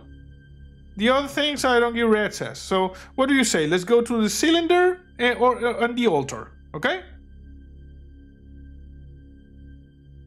Clay cylinders and altar. Yes, we're gonna go with both. You know. So let's first go to the clay cylinders and then we go to the, the altar. So let's go to the clay cylinders first, which is 24. First, clay cylinders. 24 and uh, and then we're gonna go after the the altar so first the cylinders you write a, a, reasonable bid for the pair of clear cylinders and place it in the box. Shortly after you do, Mr. Warren clears the box and begins checking the bids. Okay, so we need to do a hard difficulty credit rating roll, you know? With this luck, I would walk home and try not to die on the way. Yes, it, also, it is also a good possibility to do that, Canis. It's also a good possibility, you know? Gonna need to go to the next auction over for a pickup truck to haul it anyway. Yes, most likely. So we need to do a hard difficulty credit rating. So in the character sheet, our credit rating is 80, so hard difficulty is 40. You know, let's go to the dice cam. And remember, we're not using luck points in this section.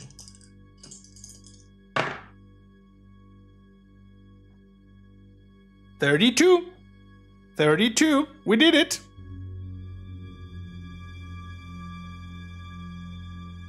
We did it.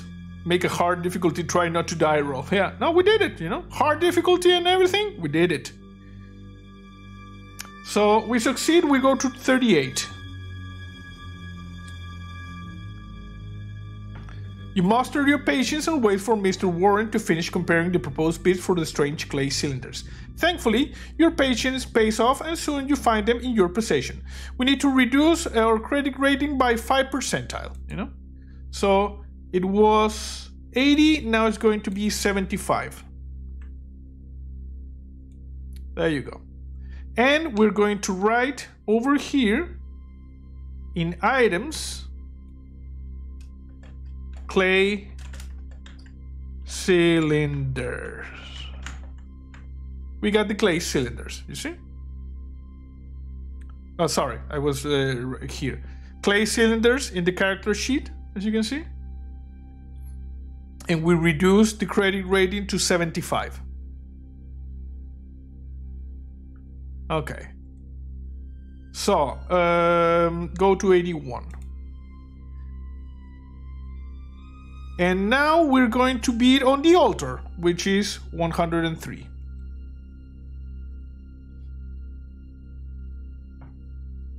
You decide on a fair bid for the gemstone studded altar and submit your offer. Not long after, Mr. Warren empties the ballot box and begins shifting through the entries for the highest bid. We need a hard credit rating. Why is this so hard? Okay, so hard credit rating would be a 37. Let's go to the dice cam. Come on, people. Big money, big money.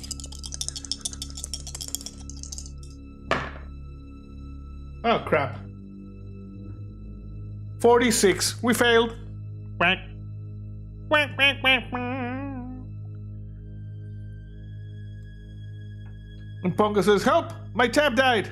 What? Your tab died? refresh! Refresh! Okay, so we, we, we messed it up. Quack. Sad squirrel. We fail, we go to 59.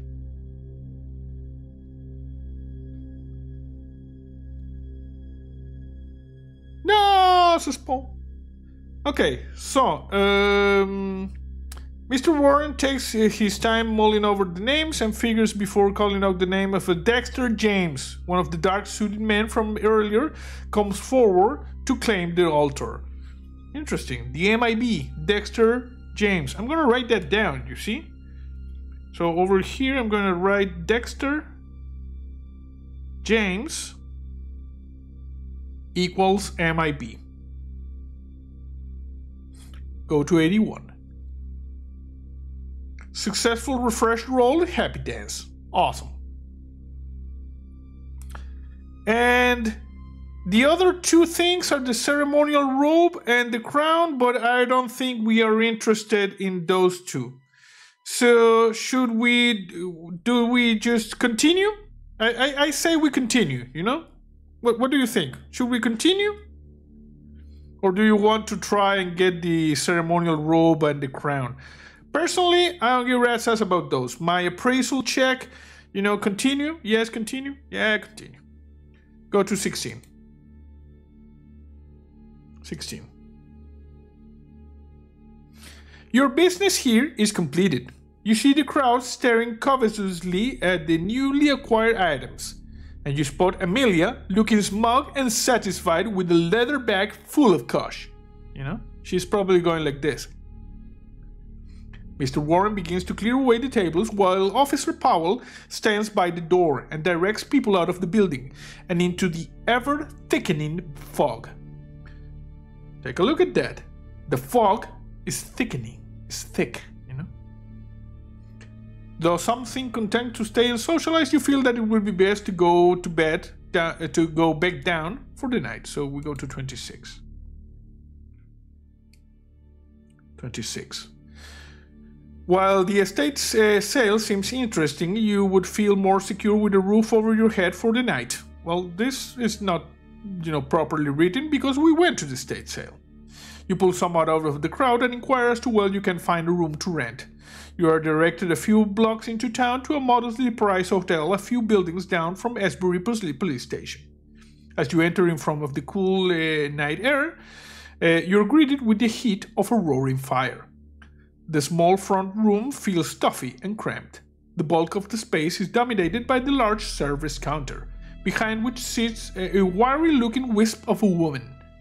She turns her eyes uh, to you and asks your name, then quotes you a price that's more than fair.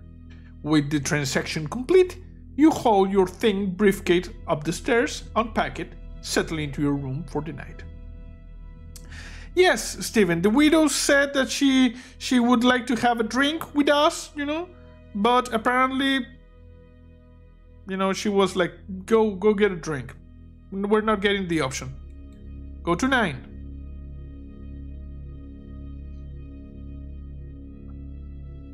You wake in the morning, grateful for the rest. You rise from your bed and take in the modest surroundings that make up your room.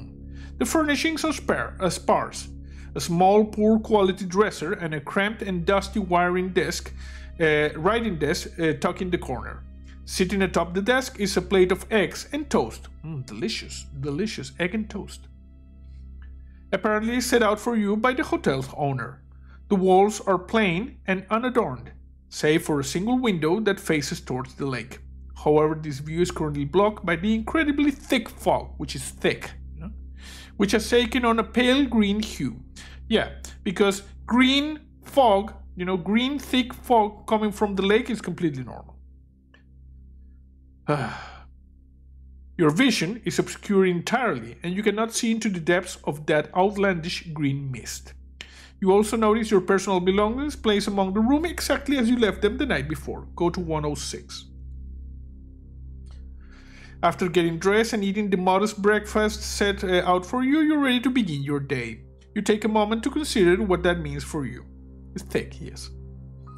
Your mind turns to Professor Harris. If you're so inclined, you might be able to investigate the circumstances of his death further. Considering that you don't have uh, his widow's Amelia address, you will have to start your search with the official reports filed with Officer Powell at the police station. You don't like the look of that fog? We don't like the look of that fog either here. Alternatively, you could take this free time to look through your belongings and examine any items you might have. The hotel owner has been in your room, so a check of your things might be in order. Or perhaps you have some other reason to look over your possessions. Finally, if you feel your business in Esbury is concluded, you could always try to find Lance Sanford at the ferry. So, what do we do? Do we go to the police station? Do we look at the items, which we have only one item actually? Or do we try to get the, you know, like get that out of town and go to the ferry? What do we do? Police station, items, or ferry? Remember, this this is an opportunity to try something different. Stephen says, look at items. Layla says, look at the items which is the exact same thing we did the last time. Police station, says Jason.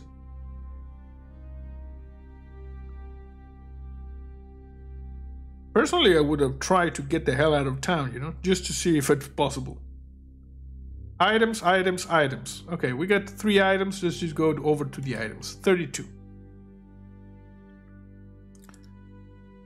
32. Cursory inspection of your personal belongings reveals that nothing is amiss. All of your possessions are just as you left them. Stephen says, I wasn't here for the last stream. Sorry if I'm picking the same things you guys did the last time. Well, we tried to be like uh, smart and investigative the last time, you know? So that's why we did the thing. But it's okay, you know, you just choose. I'm just giving you options. Um, while you're here looking things over, you can take this opportunity to more closely scrutinize items bought at the estate sale. Alternatively, you may leave and go explore elsewhere if your curiosity is satisfied. After examining each item, you will be directed to this entry of giving the option to proceed as appropriate. If you have none of the items or are done looking over what you bought, choose to investigate elsewhere. Jason says, Stephen, I can't remember most of the last choices. Lol. Yeah, Okay, so we're going to examine the clay cylinders, which is the only thing we got, you know, 62. These are the clay cylinders, as you can see here in this picture. You know, they have strange markings, a little bit of cracked. These are the strange cylinders. Brick cylinders of Kadatheron. That's, that's what it says here. You turn the hardened clay cylinders over in your hands, your eyes falling on the large cracks running through both items. Despite this damage, their solid construction has led to the cylinder's survival through the ages. The next most obvious quality uh, is the strange writing plastered along the sides of each cylinder. It's quite remarkable in that it doesn't resemble any language known to you. Unfortunately, you have no way of translating it. Yeah, these are the cylinders, you know? They're like, uh, you know, cassettes. Like thousands of years old, but cassettes. I don't know. Go to 32 for the next one of these, I need a, like a glass of water because my throat is getting kind of raspy. okay, we, we, we don't have any other items. So, what do we do? Um, we could go to the police station or to the ferry. What, what do you want to do? Police station, which could lead to information as to where the widow lives. Or we could go to the ferry and try to get the out of town. What should we do? If you want to investigate, let's, let's go investigate. Try the ferry. Yeah, I'm, I'm, I, I, I would like to try the ferry because the last time we went to investigate, and if you if you want to watch what happened the last time, it's in the playlist. You know, in the main page of the channel, you go down to the in real life page, like uh, unboxings and roleplay and stuff, and there it is, Call of Cthulhu Alone Against the Tide, and we went to the police station to investigate. Nobody uses cylinder drives in 2021, says Punk. Hashtag Pong. And Paul says, cracks like the caverns of the, who, of the He Who Remains, but back together with the souls of a million timelines. Yes. Going to the police station to get the widow address seems kind of creepy to me. Let's get out of town. Yeah. Go to the ferry. 1A, 153.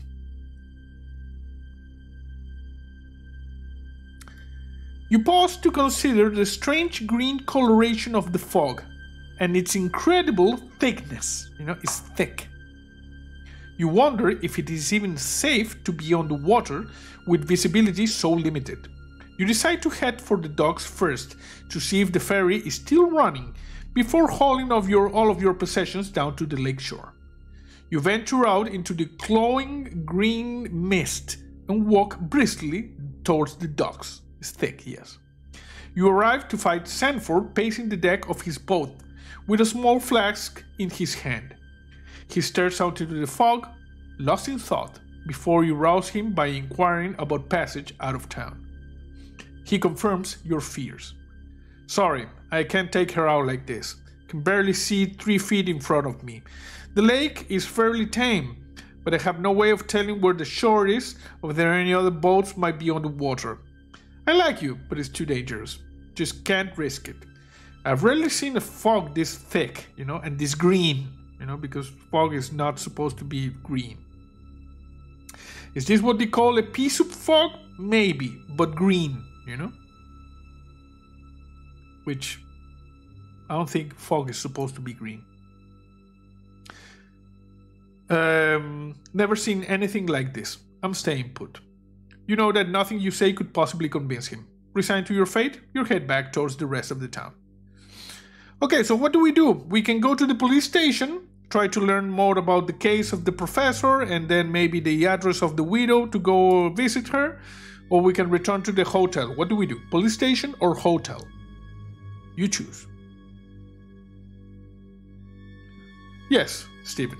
It is the fog of doom.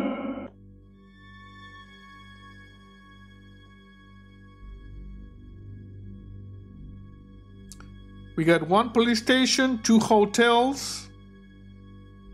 When you play this game, my mind still remember your Cthulhu playthrough. Yes. The Sinking City and also Call of Cthulhu Dark Corners of the Earth. Okay, we got several hotels. We go back to the hotel, 122.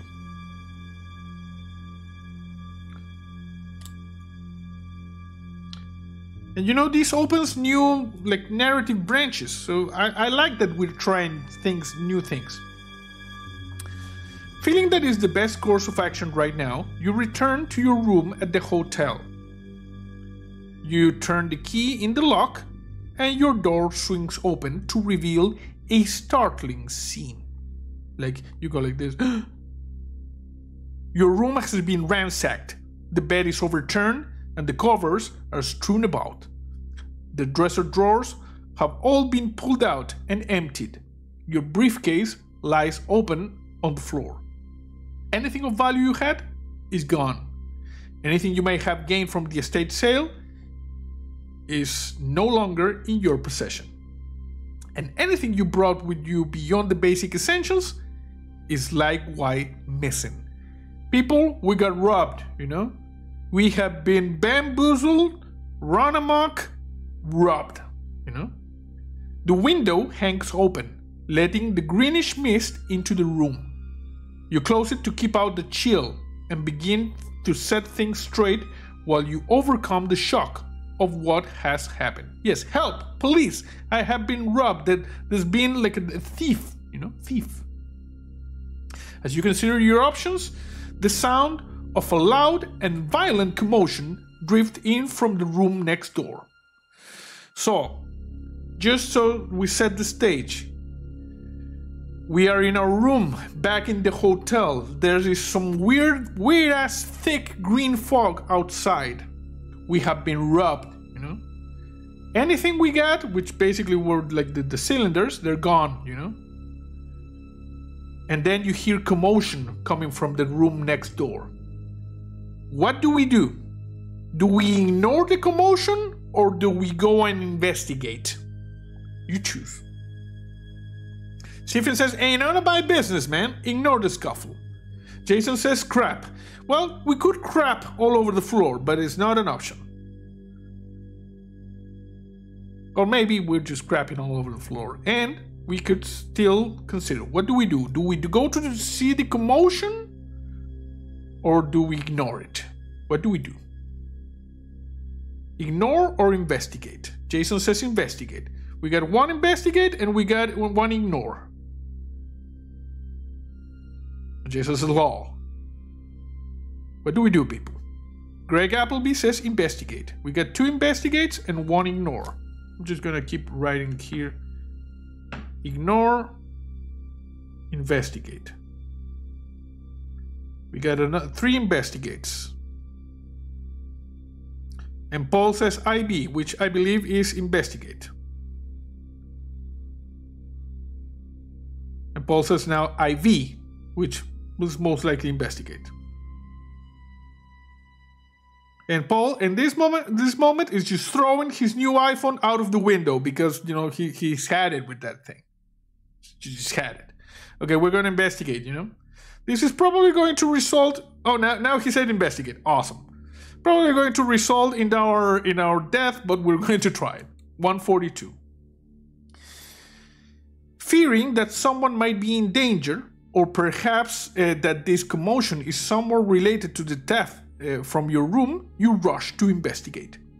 You find the adjacent room door open, and inside you discover a large and familiar looking man in a dark suit. Oh, the MIB might be Dexter James. He looms over the prone body of a beaten and blooded Buddhist monk. This guy went and he's kicking the, the, the, the monk's ass. That that that that's bad, you know. He's kicking the the Buddhist monk. He was so happy, you know. He was like this with the with the ears as well. And now this guy is just wailing on this guy. That that they ain't gonna fly. The man in the suit has clearly worked him over. The suited man has his back to you, and you doubt you're being noticed yet. With a little luck, you might be able to get the drop on him and subdue him quickly. Alternatively, if you have come of possession of a firearm during your stay in Esbury, you could always resort to little force. Yes, we're angry squirrels now.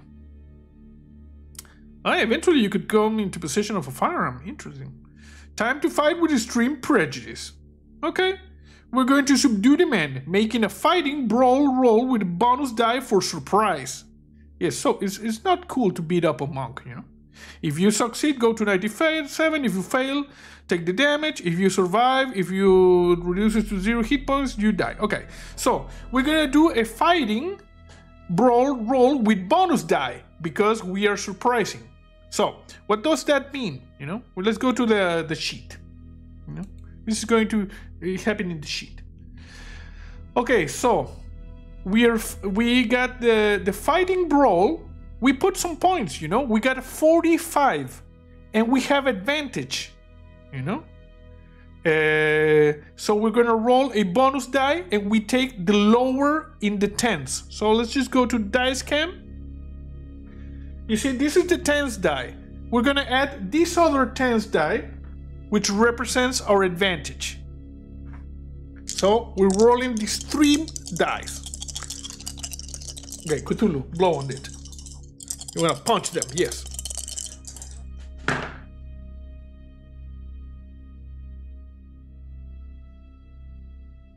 So you see, we discard the higher one, which is this one. And we get a six. You know? Which is like if you if you if you take a look at our brawling, a six is an extreme success. So we just basically, you know, we just kick the out of this guy, you know? So we succeed, we go to 97. Huh? 97. We entered, you know, we grabbed the chair and we yelled, You is a punk ass! And we just, you know, like wailed on him and he just went down, you know? 97. You rush the man and swing for his head. Your blow lands and carries him into the wall, you know? Chisel to the forehead, yeah, he went like that. Yeah, punch his squirrel, exactly, Layla kicked him in the family jewels. We, we just wailed on him, you know. He went flying into the wall. Just uh, with a sickening crack, he's rendered unconscious and collapses in a heap on the floor. And then we spit on him. We like, the, you know, the punk ass. Yeah, we walked in the room WWE style. You stand over the wide-eyed monk, you know, and he seems to be so happy, you know. He comes chasing with a steel chair and a pop. He seems battered and bruised, and in no doubt in some degree of pain, you know. Still, he manages to rise to his feet and extends his hand in gratitude. Taylor says, yuck. he offers words of gratitude to you for rescuing him from his stacker.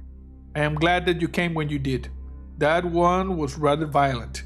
It is regrettable that you had to hurt him, uh, hurt him so, but he will live well, we could, you know, like kick his ass again so he doesn't live. Yeah.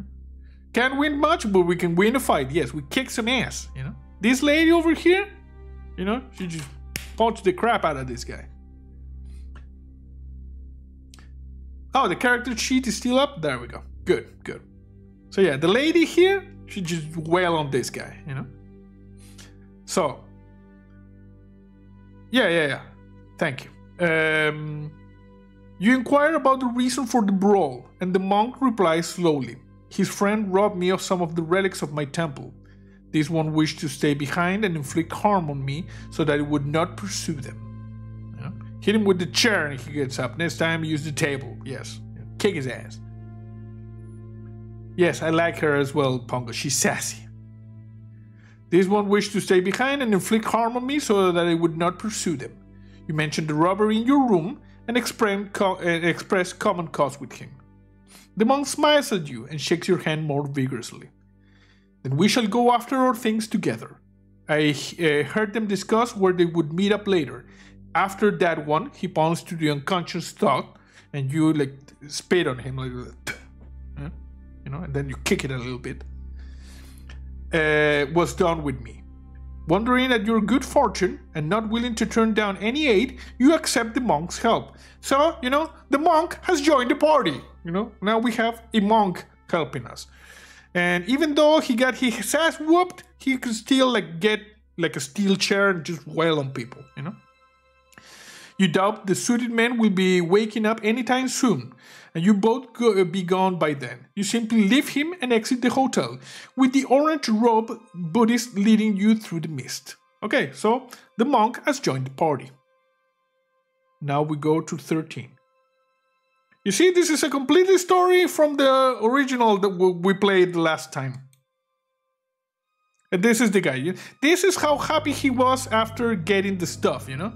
Now imagine with a little bit bruises, maybe a cut on the on the on the on the you know like the, the ear, you know, stuff like that.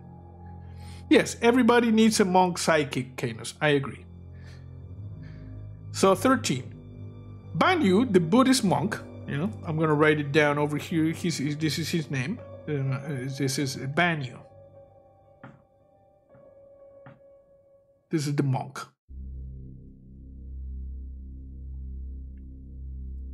Chats casually with you as you walk through the fog, you know? God is on our side now. Well, a God anyway, yes, you know? Actually, I think Buddhism um, is supposed to be like, um, uh, you know, with uh, atheist at its core, you know? Something like that. I I I heard the Dalai Lama saying something like that, but just just some, uh, you know, like uh, random fact that came to my mind. But yeah, we got we got we got like the body monk, you know. And Paul says, honestly, I really want to give him a hug. Yeah, he was completely, you know, like beat up, maybe one ear a little bit broken, you know, because he has big big ears, you know and he was so happy, you know. Maybe now he's missing a tooth, you know. Has a black eye, you know. Poor monk. You know? Okay. So um, you both note that the light is beginning to dim through the mist, and this becomes the topic of conversation for a few minutes. It will be even harder to see soon, I would not like to be out and about any longer than we must. This fog is most unusual. Is this hue common here? Uh, no, Banyu, I don't think there's green fog anywhere on the world, you know? You respond that the greenish color of the fog is highly unusual, and he seems mildly perturbed. I have seen nothing like this at my temple in India either. The conversation continues like this for some time until finally you arrive at your destination. The place in question is a small house uh, located uh, on the edge of town, near the church. Jason says, That's cool. I'm atheist. I believe in people, which is a challenge uh, right now. Yes. The conversation continues for some time uh, until finally you arrive at your destination. The place in question is a small house located on the edge of the town near the church. Uh, Banyu informs you that he has no intention of going inside, as he knows it may result in violence, and he is opposed to physical conflict. He shoots you a quick glance and then goes to stand by the church. You try the door and find it unlocked. You have no doubt that the men inside will be armed, so you slip in quietly, hoping to avoid notice. Okay, so Banyu stayed behind, you know, outside the church. We entered, you know. And over here it says make a stealth roll. If you succeed, go to 165. If you fail, go to 144. Note down meet Banyu entry 215 on your investigator sheet. Later, you may be prompted to visit Banyu if you know where to meet him. At that time, you may go to 215. Okay. So, 215. So, I'm gonna just put the character sheet and I'm going to write down over here a note. No. Meet. Me eat. Banyu. 215. You see? We got the information. And I'm going to write it down over here as well in the clipboard. Okay, so 215 uh, when we are prompted to visit Banyu later. For now, we're gonna make a stealth roll. It's a regular stealth roll. So, what do we have in terms of stealth? Ah, crap. We should have put some points into stealth. It's a 20. But, if you remember, I said we were saving our luck points. So maybe we start using the luck points now. Okay, let's go to the dice cam. We need to beat a 20. And we're gonna use luck points if we need some.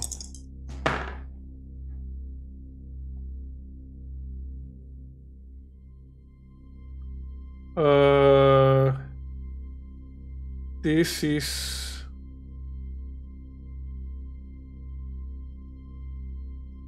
oh crap. Well, that one was a 97. So we're not going to use the luck points.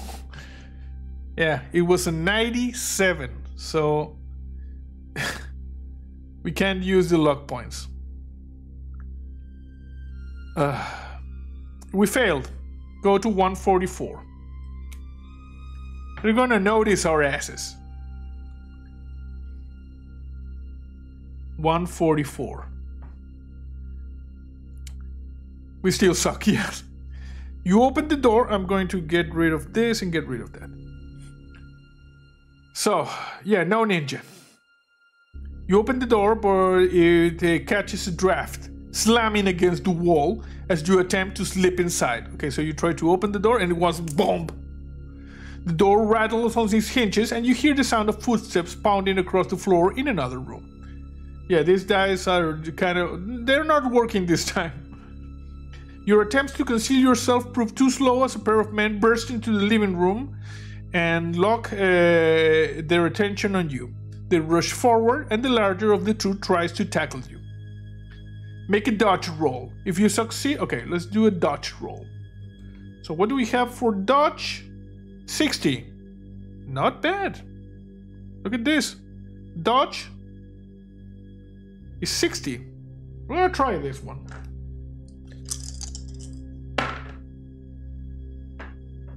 Fourteen. It was the 14. We succeeded. Okay, so we succeed.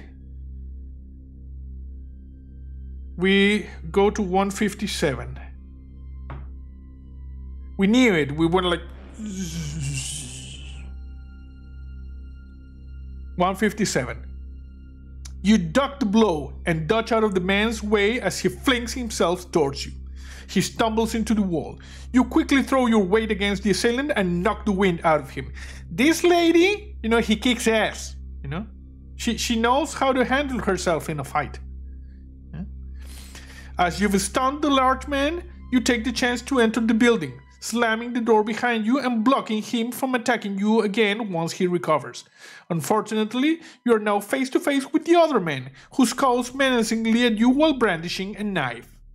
You know, he goes like this. You bastard! Think you can cause trouble for old Josh, eh? I'll gut you like a fish, you know? I'm gonna gut you. I'm gonna gut you. Besides, I think we could use a little bit of blood for what's coming next. He shouts something incomprehensible and lunges at you with the blade. His eyes betray his murderous intention. We need to make it another dodge roll, you know? So, character sheet. Dodge was 60. Dice cam.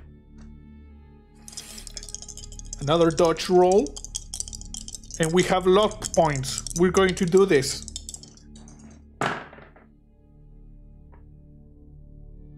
Look at this, 63, we're going to be using 3 luck points. So, we're going to use 3 luck points, so we go to 62. No, 62. And we succeed, you know, we went ninja, yes. This character is like me, can hear or see well, but can fight, says Jason. Awesome. So we succeeded, we go to 121.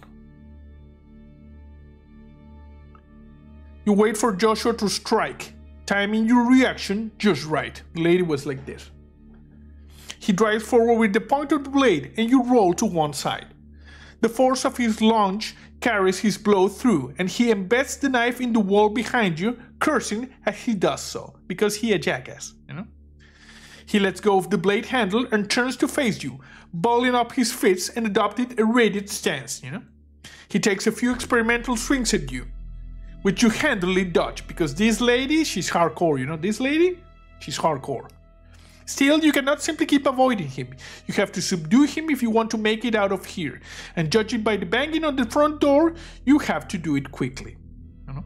A little bit of meta gaming. This is the house of the professor. You remember from the last time we played? There was the house of the professor, and there was like the, or maybe it's not the house of the professor because it's close to the church. I don't know, it's a house, you know? For a second, I thought it was the house of the professor, but it could have been in a different house. It's okay. We need to make a fighting brawl roll, you know? Let's get dangerous, yes. So, fighting brawl uh, roll. Okay, so. Um, brawl, fighting, brawl. We need to beat a 45.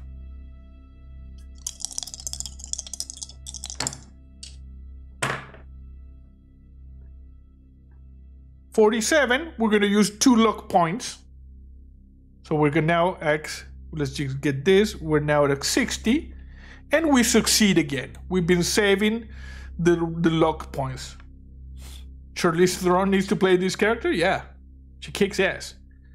Okay, so we succeeded. We go to 93. There's some sort of demon ass over here. I don't know what the hell. 93. As before, you sense Joshua's frustration and realize that patience is the better course of action. You wait for him to swing. He throws his full weight behind the blow, and you easily move aside and shove him forward, using his momentum against him. Nice. Ninja moves with this lady, you know? You send him crashing into the wall. He drops to the floor, thoroughly da- dazzled, dazed by the force of the impact. You hurry to the front door and barricade it with a chair, buying you time to move about the house freely. Glancing about, you see a small living room and kitchen, and two doors at the opposite ends of the common area. The door on your left is wide open, and you can see a set of stairs leading down. The door on your right is closed. You assume it leads to the bedroom. Badonkadonk monster ass. Yes, exactly.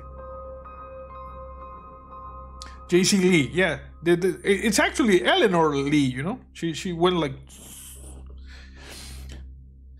Okay, so a little bit of metagaming parenthesis. I think this is the door, this is the house where last time we died in the, you know, downstairs, but because we made poor rolls.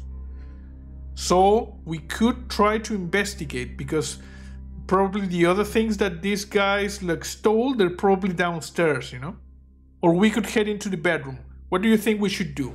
Do we go downstairs or we head into the bedroom.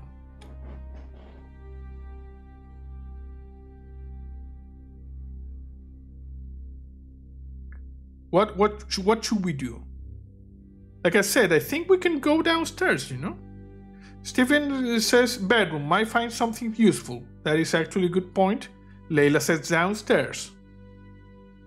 Good things always happen in the bedroom, says Friendly Boss. Okay, we got three bedrooms, two downstairs bedroom downstairs.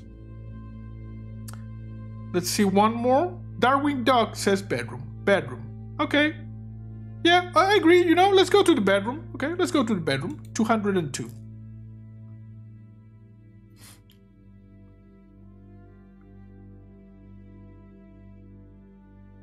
Also, uh, welcome to the stream, Darkwing Dog. Big fan here, you know, big fan.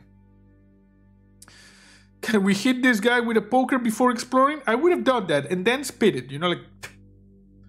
202. You open the door to find a bedroom, much as you expected. The room clearly belongs to a bachelor, as the only feminine object is a set of lace sleepwear lying across the bed. Oh, someone is going cheeky bow bow in this thing. You look to a nearby nightstand and find, uh, find several framed photographs of Joshua and Emilia, so you assume the clothes are hers. Peeking out of a drawer in the nightstand is an open box of bullets, as well as several bottles of bootleg whiskey. Hmm. A reboot of, I think it's a series. I don't know if it's a movie, Paul. I think it's a series. But okay. So there's bullets, and uh, bottles of bootleg whiskey and there's like some uh, you know lace sleepwear lying across the bed you know You scan the rest of the room. The only other object of note is a dresser. You search it and find it to be full of men's clothing, the sort of Joshua would wear. However, as you are rifling through these things, you find an envelope. Turning it over, you see it's unsealed, and judging by the crumpled state of it, the letter inside has been read over several times. Yeah, there might be a, a gun somewhere. We're gonna find that. You pull out the letter and begin reading. It appears to be a correspondence between Joshua and a Dr. Weber, based out of Arkham. Weber is, apparently, a psychotherapist that Joshua sees on a monthly basis. According to the letter, the past few months have been quite difficult for Joshua. In addition to his criminal activities and his relationship with Emilia, he has been troubled by strange dreams, which Dr. Weber labeled as obsessive delusions. Joshua has a fixation with a particular dream of a beautiful city in a far off land. He describes the city as made of marble and says that sometimes he wakes up crying because he has to leave it behind in his dreams. He also reports seeing a frightening lizard thing in the water off the shore of this strange city. Sometimes, in the night, it whispers that it knows the way to the city. Though the, though the lizard thing scares him, he listens to the whispers. Joshua professes a deep desire to go on to the city, though he doesn't know where it is or even if it is real. For his part, Dr. Weber assures Joshua that these things are completely fictitious and that he must find a way to return to reality and leave the delusions behind. You return the letter to its envelope, then slip everything back where you found it, thinking about how this affects the course of events here in Esbury. Silently, you return to the main area of the house. You may now investigate the basement or leave the house. Yeah, it's a series. Okay, so just a second.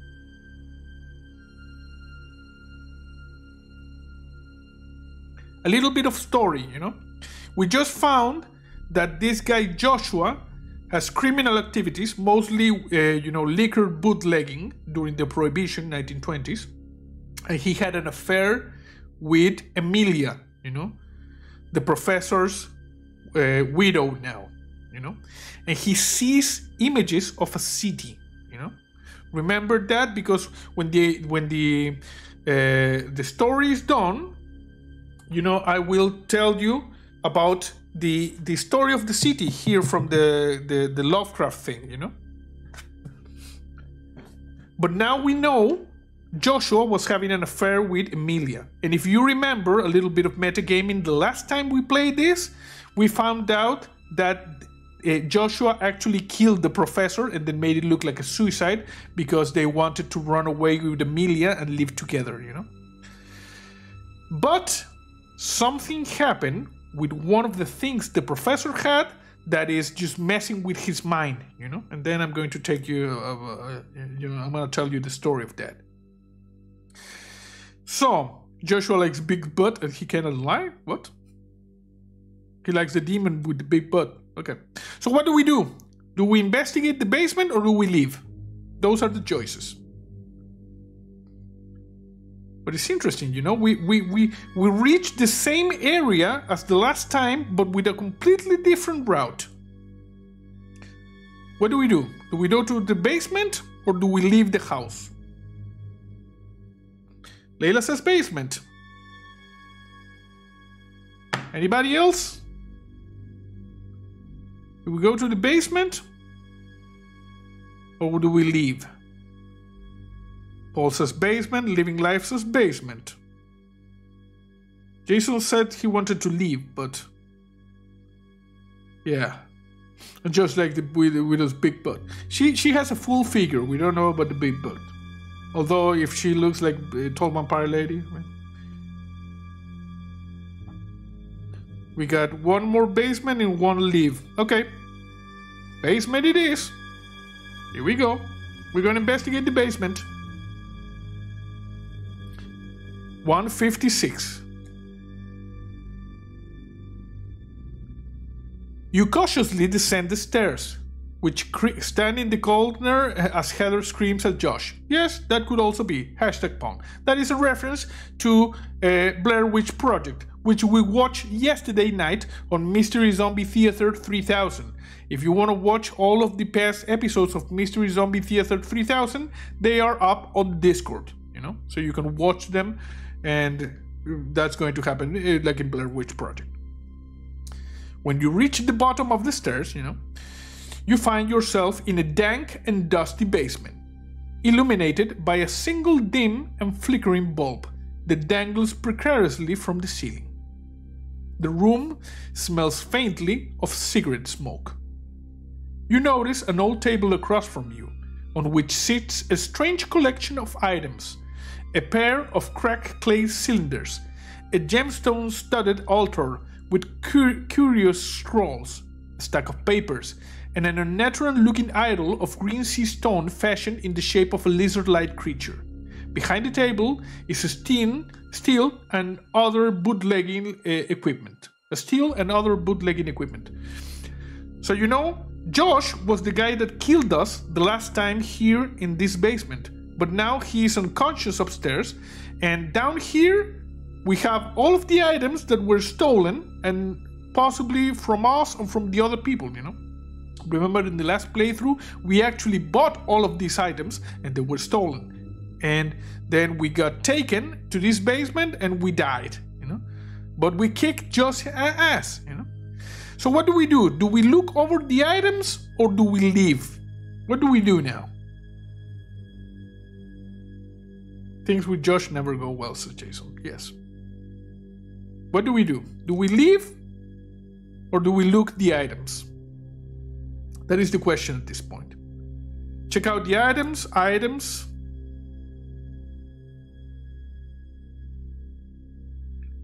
leave. Two items, one leave. Three items. Four items. Chris says, Oh my god, JC, stop saying you know after every sentence. Uh, no, you know. Look at the items. Items. Okay.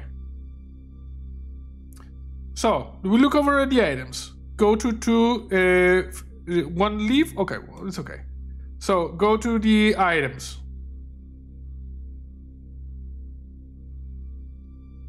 Chris Murphy says, I'm doing it now. I got it from you. That's nice, you know? Okay, so. Happy little squirrel look at the items? Yes. Okay, 210. So, 156, 210.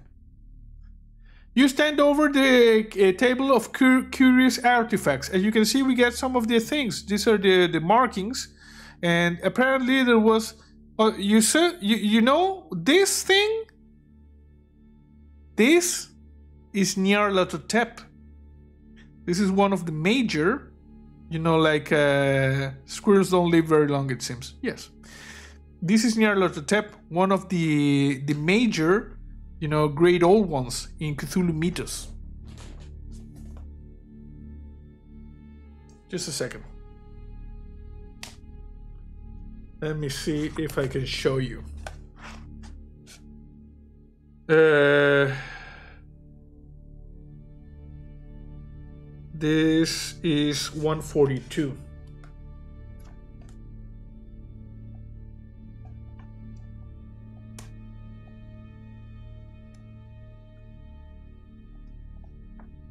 Nyarlathotep. Oh, we don't have.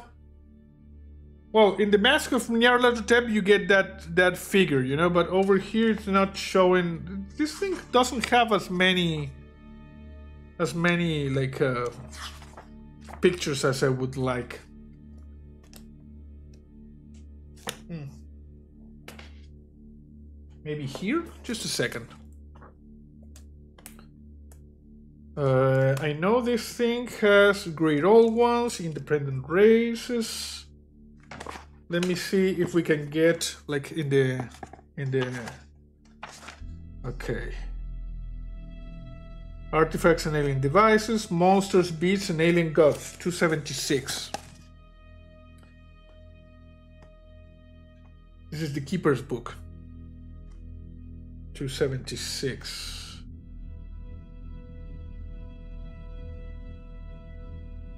282 killing monsters. You see? Look at this. I'm gonna I'm gonna switch over to the big JC. You see? Nyarlathotep. This guy. Over here you got Mighty Cthulhu. Mighty Cthulhu. And this is Nyarlathotep. That one. And this is Dhole. But this is Nyarlathotep. I recognize his ass. There you go. Love the extra lore. Yes. This is nerdy things, you know? So, uh, 210. You stand over the table of uh, curious artifacts, confident that they have something to do with the strange events in Esbury. You decide it's best to look them over and glean and glean, learn what information you can from them. You begin by uh, leafing through the stack of notes.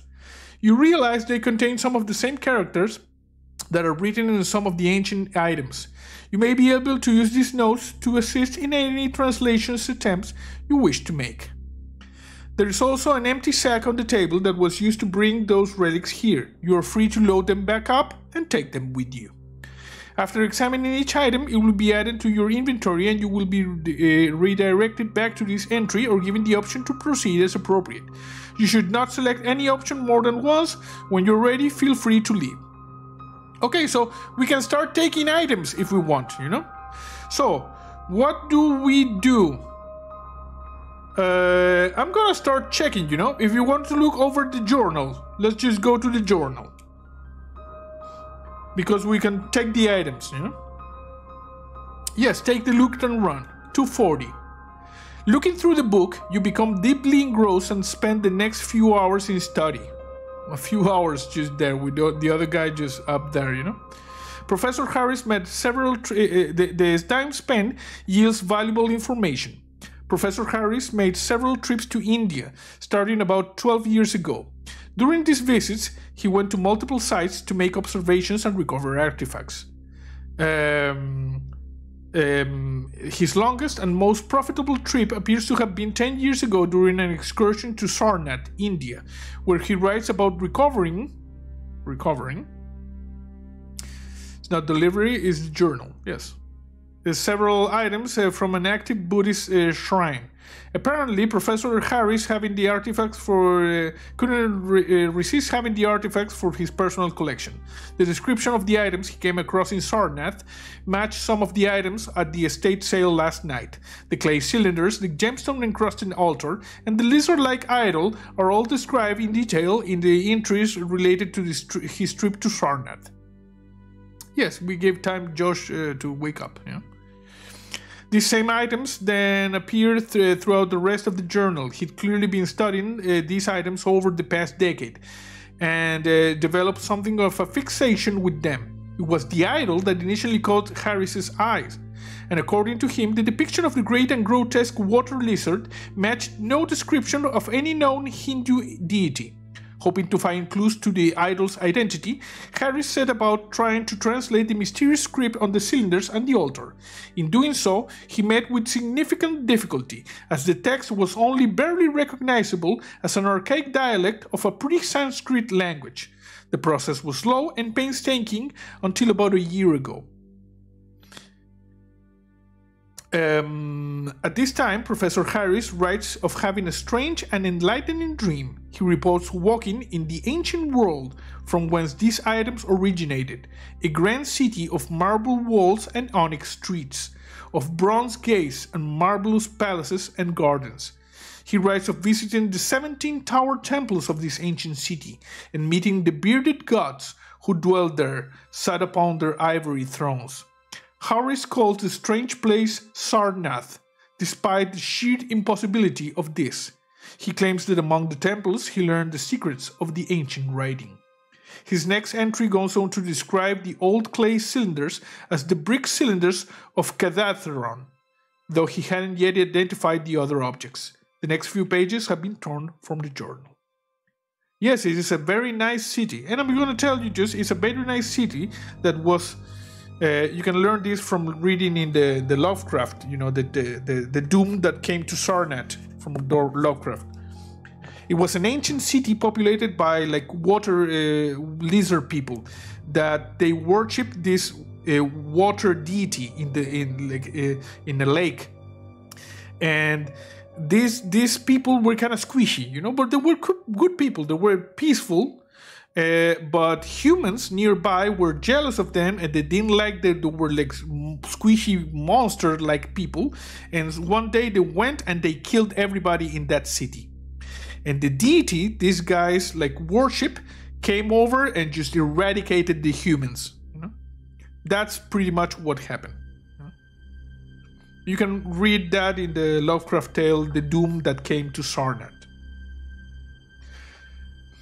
um, he, the black cylinders the entry resumes with more mundane uh, matters though there are still references to the artifact from time to time the more recent entries in the journal speak of Harris's daily studies and living with Emilia. It's clear that he cares about her deeply from the way he writes about her, but he laments that his studies keep him from spending the time with her that he would like. Instead, he lavishes her with gifts and money, which he was all too happy to accept. He noticed that Emilia has never been happy, happier despite the distance between them humans can suck sometimes. Yeah, and th- these these guys that lived, they were non-human. You know, they were kind of squishy lizards, something like that. But they were good people, and the humans went and killed them. And the deity was angered, and they slaughtered the humans. That's the doom that came to Sarnath. The last entry to catch your eye is dated uh, a little over a week ago. Apparently, the pages torn from his journal went missing only recently. Professor Harris expresses deep concern at this, and the, there were no signs of forced entry to his study, and only he and Emilia had access to it, though he was sure he hadn't removed them from the journal himself. You finish your reading by glossing over the last week of the professor's life, which is rather uneventful and peaceful beyond his continued obsession with the artifacts and his occasional worries about Emilia. Okay, so we got the journal. Now we're gonna check over the clay cylinders, 218. You turn the hardened clay cylinders over in your hands, your eyes falling on the large cracks running through both items. Despite this damage, their solid construction has led to the cylinder's survival through the ages. You know? Um, the next most obvious quality is the strange writing that is plastered along the side of each cylinder. It's quite remarkable that it doesn't resemble any language known to you. Using the notes on the table, you attempt to translate it. We are doing an archaeology roll, you know? Archaeology, we got 70. We're going to attempt this. And I'm going to use luck points if we don't, you know, like, do it. 81. I'm going to use 11 luck points. I don't give rat's ass. You know? So, we that puts us at uh, 50.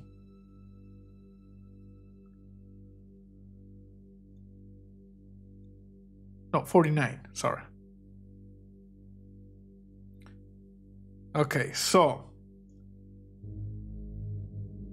Um Oh no, it's a hard archaeology uh, check. No, I'm not gonna use so many points, you know? Uh, or do we do a hard archaeology check?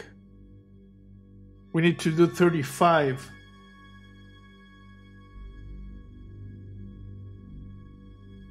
Ah, screw it. We fail, you know? We fail. We couldn't translate it. 242, you simply have no idea where you're looking at. The characters are strange and unusual, and they match no script known to you. Studying the rest of the object yields no other clues. Yes. What? No? Okay, sorry, sorry, sorry, sorry. It doesn't set hard? 240? Let me see. We were in 218. Oh, it was not hard. Okay. Okay. So I needed to expend 11 luck points and that's it. So I'm just gonna remove the 11 luck points. I'm gonna go to 49 and we're gonna say it succeeded. 204. Okay, good. Nice. 204. You turn the hardened clay cylinders over in your hand and squint to make out the tiny script pressed into their sides. Consulting the notes stacked behind you, and this is good because the other one was an ending, you begin to work out a rough translation. The cylinders tells the story of the lake mist green being of Ib, with their bulging eyes, pouting, flabby lips, curious ears, and voiceless mouths. He speaks of the origin of these strange beings, how they descended one night from the moon in a mist, and gave praise to the chiseled sea stone idol of Bokrug beneath the gibbous moon. These, these people, the green beings from Ib, they were mute, they descended from the moon, they were kind of squishy. These are the guys I told you the humans killed, you know, because they didn't like them. Retribution for making you lose the roll area. Thank you. It goes on to describe the strange city of stone and the ritual destruction of precious metals to appease this detectable water lizard, you know? Was it green mist? maybe. The tale is perplexing and impossible, but if true, is rather frightening. You recall the green mist outside, and note with alarm that the moon is gibbous tonight. Gibbous? As you place the clay cylinders in the sack, you glance over at the sea green idol nearby and are further chilled by what this might pretend. Increase the Cthulhu Mythos by 2 percentiles. Okay, Cthulhu Mythos. Uh, Cthulhu Mythos. I'm at 0, so I'm increasing to zero two. Interesting. Okay, good. Go to 210. Okay. So, we're in the end game now, people. We look at the journal, at the cylinders, and we need to look at the idol, you know? This is the, the big one, 195. You look the idol over. It's made of a sea green stone and chiseled in the likeness of a water lizard of some sort. The sculptor is grotesque and hideous, and the depiction of the lizard like creature unnerves you. Still, the work is extremely well uh, preserved and unquestionably ancient. You feel uncomfortable staring at the alien looking thing for too long, so you stow it away in the sack out of sight. 210. We're back at 210. Okay, we got everything, and the last thing is the altar. The altar. 230. You examine the extraordinary altar. The most readily apparent features beyond its size are the many gemstones set into this surface. They are of greenish yellow color and shine even in the half light of the room. You also notice strange lettering written in broad strokes along the object's sides. The symbols are smeared and sloppily done, suggested they were written with some haste. What you had originally taken for paint is, upon closer examination, dried blood. And you know, it was dried blood from the priest that had taken that thing and when the the, the the, the, the idol you know and when that creature came from the lake and attacked the humans you know first it attacked the like the priest that was trying to keep it at bay. And that why that's why the the, the, the priest wrote something with blood on the altar you know? While you cannot be certain it would appear that this item has been involved in some tragedy. Using the notes on the table you might be able to piece together a translation of the text written in blood. Make an archaeology roll. Okay we're going to do an archaeology roll. Let's go to the character sheet it's a standard archaeology roll so 70. Dice can.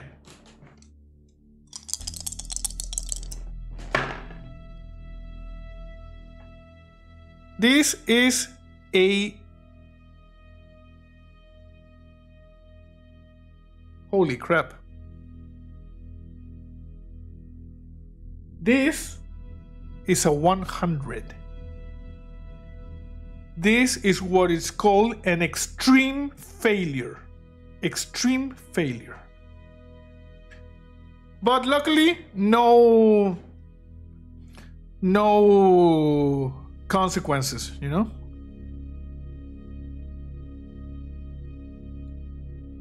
It's a crit. Yeah, it's a critical failure, you know? And uh, the um, the the translation is something like I don't know, they came or something like that. It's in it's here. It's a, it's in it's in this book. Um, the doom that came to Sarnath.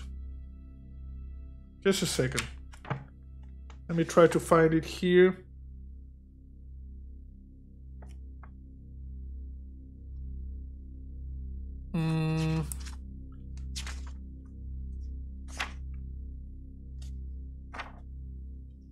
The statement of Randolph Carter. The altar, the altar. I think I think it it said something maybe it said something like doom, you know? Really need new dice. Eh, probably. No, we're not. It, there was no effect, you know? We go to 210. And in 210, hoping for the best, but expecting the worst. So we, the bedroom we already checked. We need to leave. There's no other option. We got all of this, the stuff, and now we're going, leaving the the house. 181. 181 and we have all items. You decide that you've seen enough of Joshua's house and you have no reason to linger here. We're in the end game now, people. This is this is going to the end. So now we need to stay frosty. You exit the building and close the door behind you. You look out into the fog and find it thicker than you remember. You can see almost nothing. Compounding this problem is the darkness, which has completely fallen while you were inside. Armed with new knowledge, you feel prepared to confront what lies ahead of you. You take a few steps out into the street and are shocked to find the town's cobblestone waterlogged. The lake's water level is rising and Esbury is beginning to flow. Given earlier events, you suspect this might not be entirely natural. No, the creature from you know the, the, the, the idol is coming back to slaughter the humans. You know? And Stephen tipped 5 for the nerdy things and the awesome stream so far. Thank you, Stephen. Much appreciated. Even if it is, you know, uh, like uh, uh, natural, the rapidly rising water is a serious threat in itself. You feel a twinge of fear, but overcome it and spur yourself into action. You know you must escape the flood, and then you must ask, act quickly. Jason says, Well, we're screwed. Not yet, not yet. If you know where to meet with Banyu, now is the time you may choose to do so. To search for high ground and hope to avoid the rising waters, go to 211. To try to outrun the rising tide, go to 194.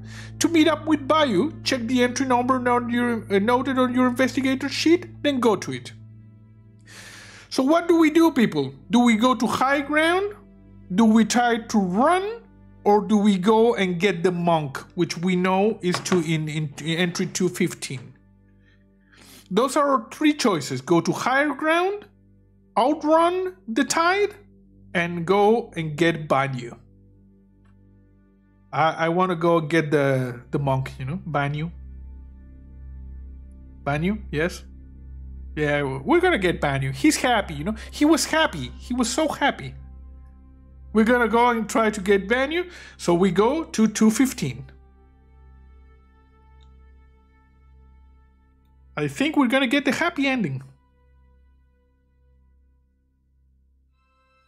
Oh, and by the way, this is this is the bad guy. You see that that that that is the creature that kills everybody. You know, the the, the like the the the deity that the the Ib worship before they got slaughter, slaughtered.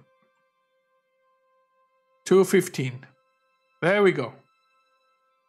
Never leave a man behind. Yes, we do not leave a monk behind particularly.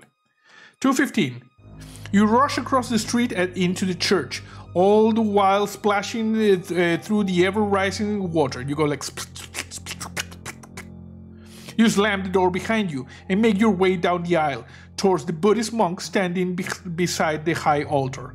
As you approach him, you can see that the man looks shaken. His eyes are wide and he ha- his hands tremble as he holds on to one of the pews for support. He fixes his gaze upon you and starts speaking quickly in a language you don't understand. He stops himself, then begins speaking frantically.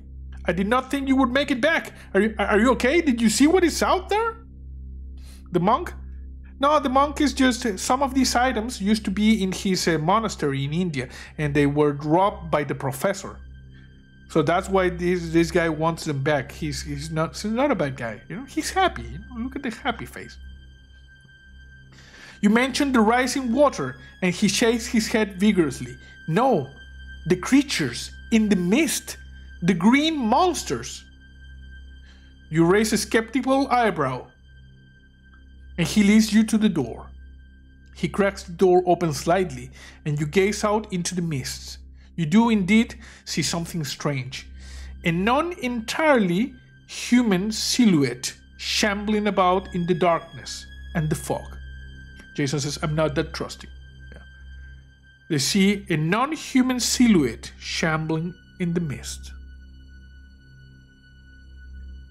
Before you get, get a better look, the monk yanks you back into the room and closes the door. But not before the thing notices, and a loud banging begins on the door mere seconds later. The, the, the thing is outside and is banging on the door. You see it now, yes? They come for us. He draws you closer, pushing, pulling you in so he can speak in a hushed tone, though still in a hurried manner. That is why I came here, friend. My temple wanted me to bring the relics back because they are cursed by evil things. My temple would perform rites over the relics to keep the curse away, but they are not safe elsewhere. It may be too late, but I know the words. Come, join me. We will stop this. He takes your hand and drags you to the altar. You set down the sack of things, and the monk closes his eyes and begins to speak in a strange tongue. Yayar nog nui ab bokrok. He utters each, or actually, it could sound something more like this. Yayar nog nui ab bokrok. You know, because of the, the magic. He utters each syllable slowly and carefully, giving you the chance to join with him if you so choose. If you have the strange idol, go to 227. And yes, we have the strange idol because we got all the things. We got all the loots, you know. Take all. R, R, take all. Go to 227.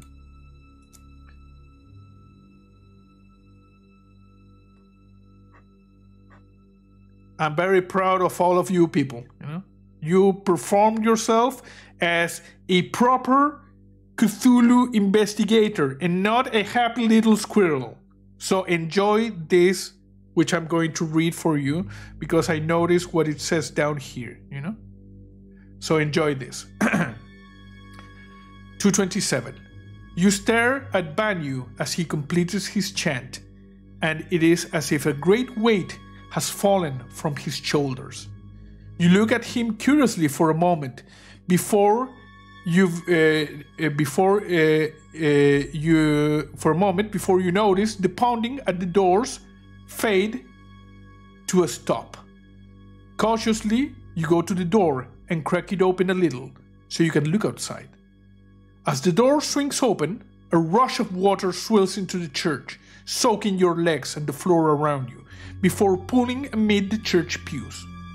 Looking out into the street, it appears that all of Esbury is awash with waist deep water, though the fog, the fog has faded and the water doesn't appear to be rising any further. Yes, Jason, we've done well this time, yes. Banyu comes to join us, to, to join you, and he breathes a sign of relief. It is done now. We will be safe for the moment. I will take the artifacts with me when I leave this place we will prevent this from happening again. With that, Banyu gathers up the sacks of items by the altar and wades out into the flood water. You don't know where he's going, but you never see him again. In time, Esbury is evacuated. The bodies of some residents are found, their deaths labeled as drowning. Some residents claim to have seen strange things in the mist, which the papers label as an outbreak of mass hysteria brought on by the anomalous floating. Some residents are committed to mental institutions, though many return to Esbury when the water recedes. You're still not entirely sure what went on there, but you're fully aware that it wasn't entirely natural. You do your best to forget it, but the memory still lingers in the back of your mind. You never return to Esbury. You have survived this adventure, and you may save this character to use at a later time if you wish. Your visit to Esbury is over. The end. We got what I like to call people, just judging by all of this, the good ending, you know? We got the monk to do the chanting, we had the idol, and that we made it out alive. We survived, we stopped the eldritch being that was rising from the lake, which, like I told you, is let me just show you is this jackass this is the the the the, the uh, elder god that rose from the lake. Stephen says, "Glad I was here for this one. Great ending. Yes, we survived, and now we can go on and uh, like fourth time actually, Jason." Because we actually remember that we played two times the first one, and this is the second time, so it was actually four times the charm. And we survive and we can go on to uh, fight the Eldritch Beings one more time in a different uh, adventure. So, yeah, this lady over here, she kicked a lot of ass and she saved the town and she helped the, the, the, the, the, the monk. Uh, and, and the monk, he, you, you know, you want to know how, what the monk looks like right now? He looks like this. He looks like this. He's happy. He's happy. So yeah, people, thank you. Oh yeah, i Slap Simpson, yeah. Look forward to another one. My first time catching a role-playing adventure. Really enjoyed it. Thank you, friendly boys. Thank you, Living Life. Thank you, everybody. Congratulations. We made good choices, and now, uh, because of that, this guy, you know, over there, he's happy. He's smiling like that because evil has been contained and the tragedy has been averted and we survived. So yeah, this was a long session, two hours and 37 minutes. The chilling biking, yeah. We survived. So have a good one. And I hope you enjoy this. And tomorrow, full Resident Evil End of Zoe episode. So you can have something to watch. But thank you very much for joining me with this Call of Cthulhu solo RPG adventure, Alone Against the Tide we made this bunk happy, and this lady over here, she kicked a lot of ass. So I hope you have a good night, and uh, I'll see you next time. Bye.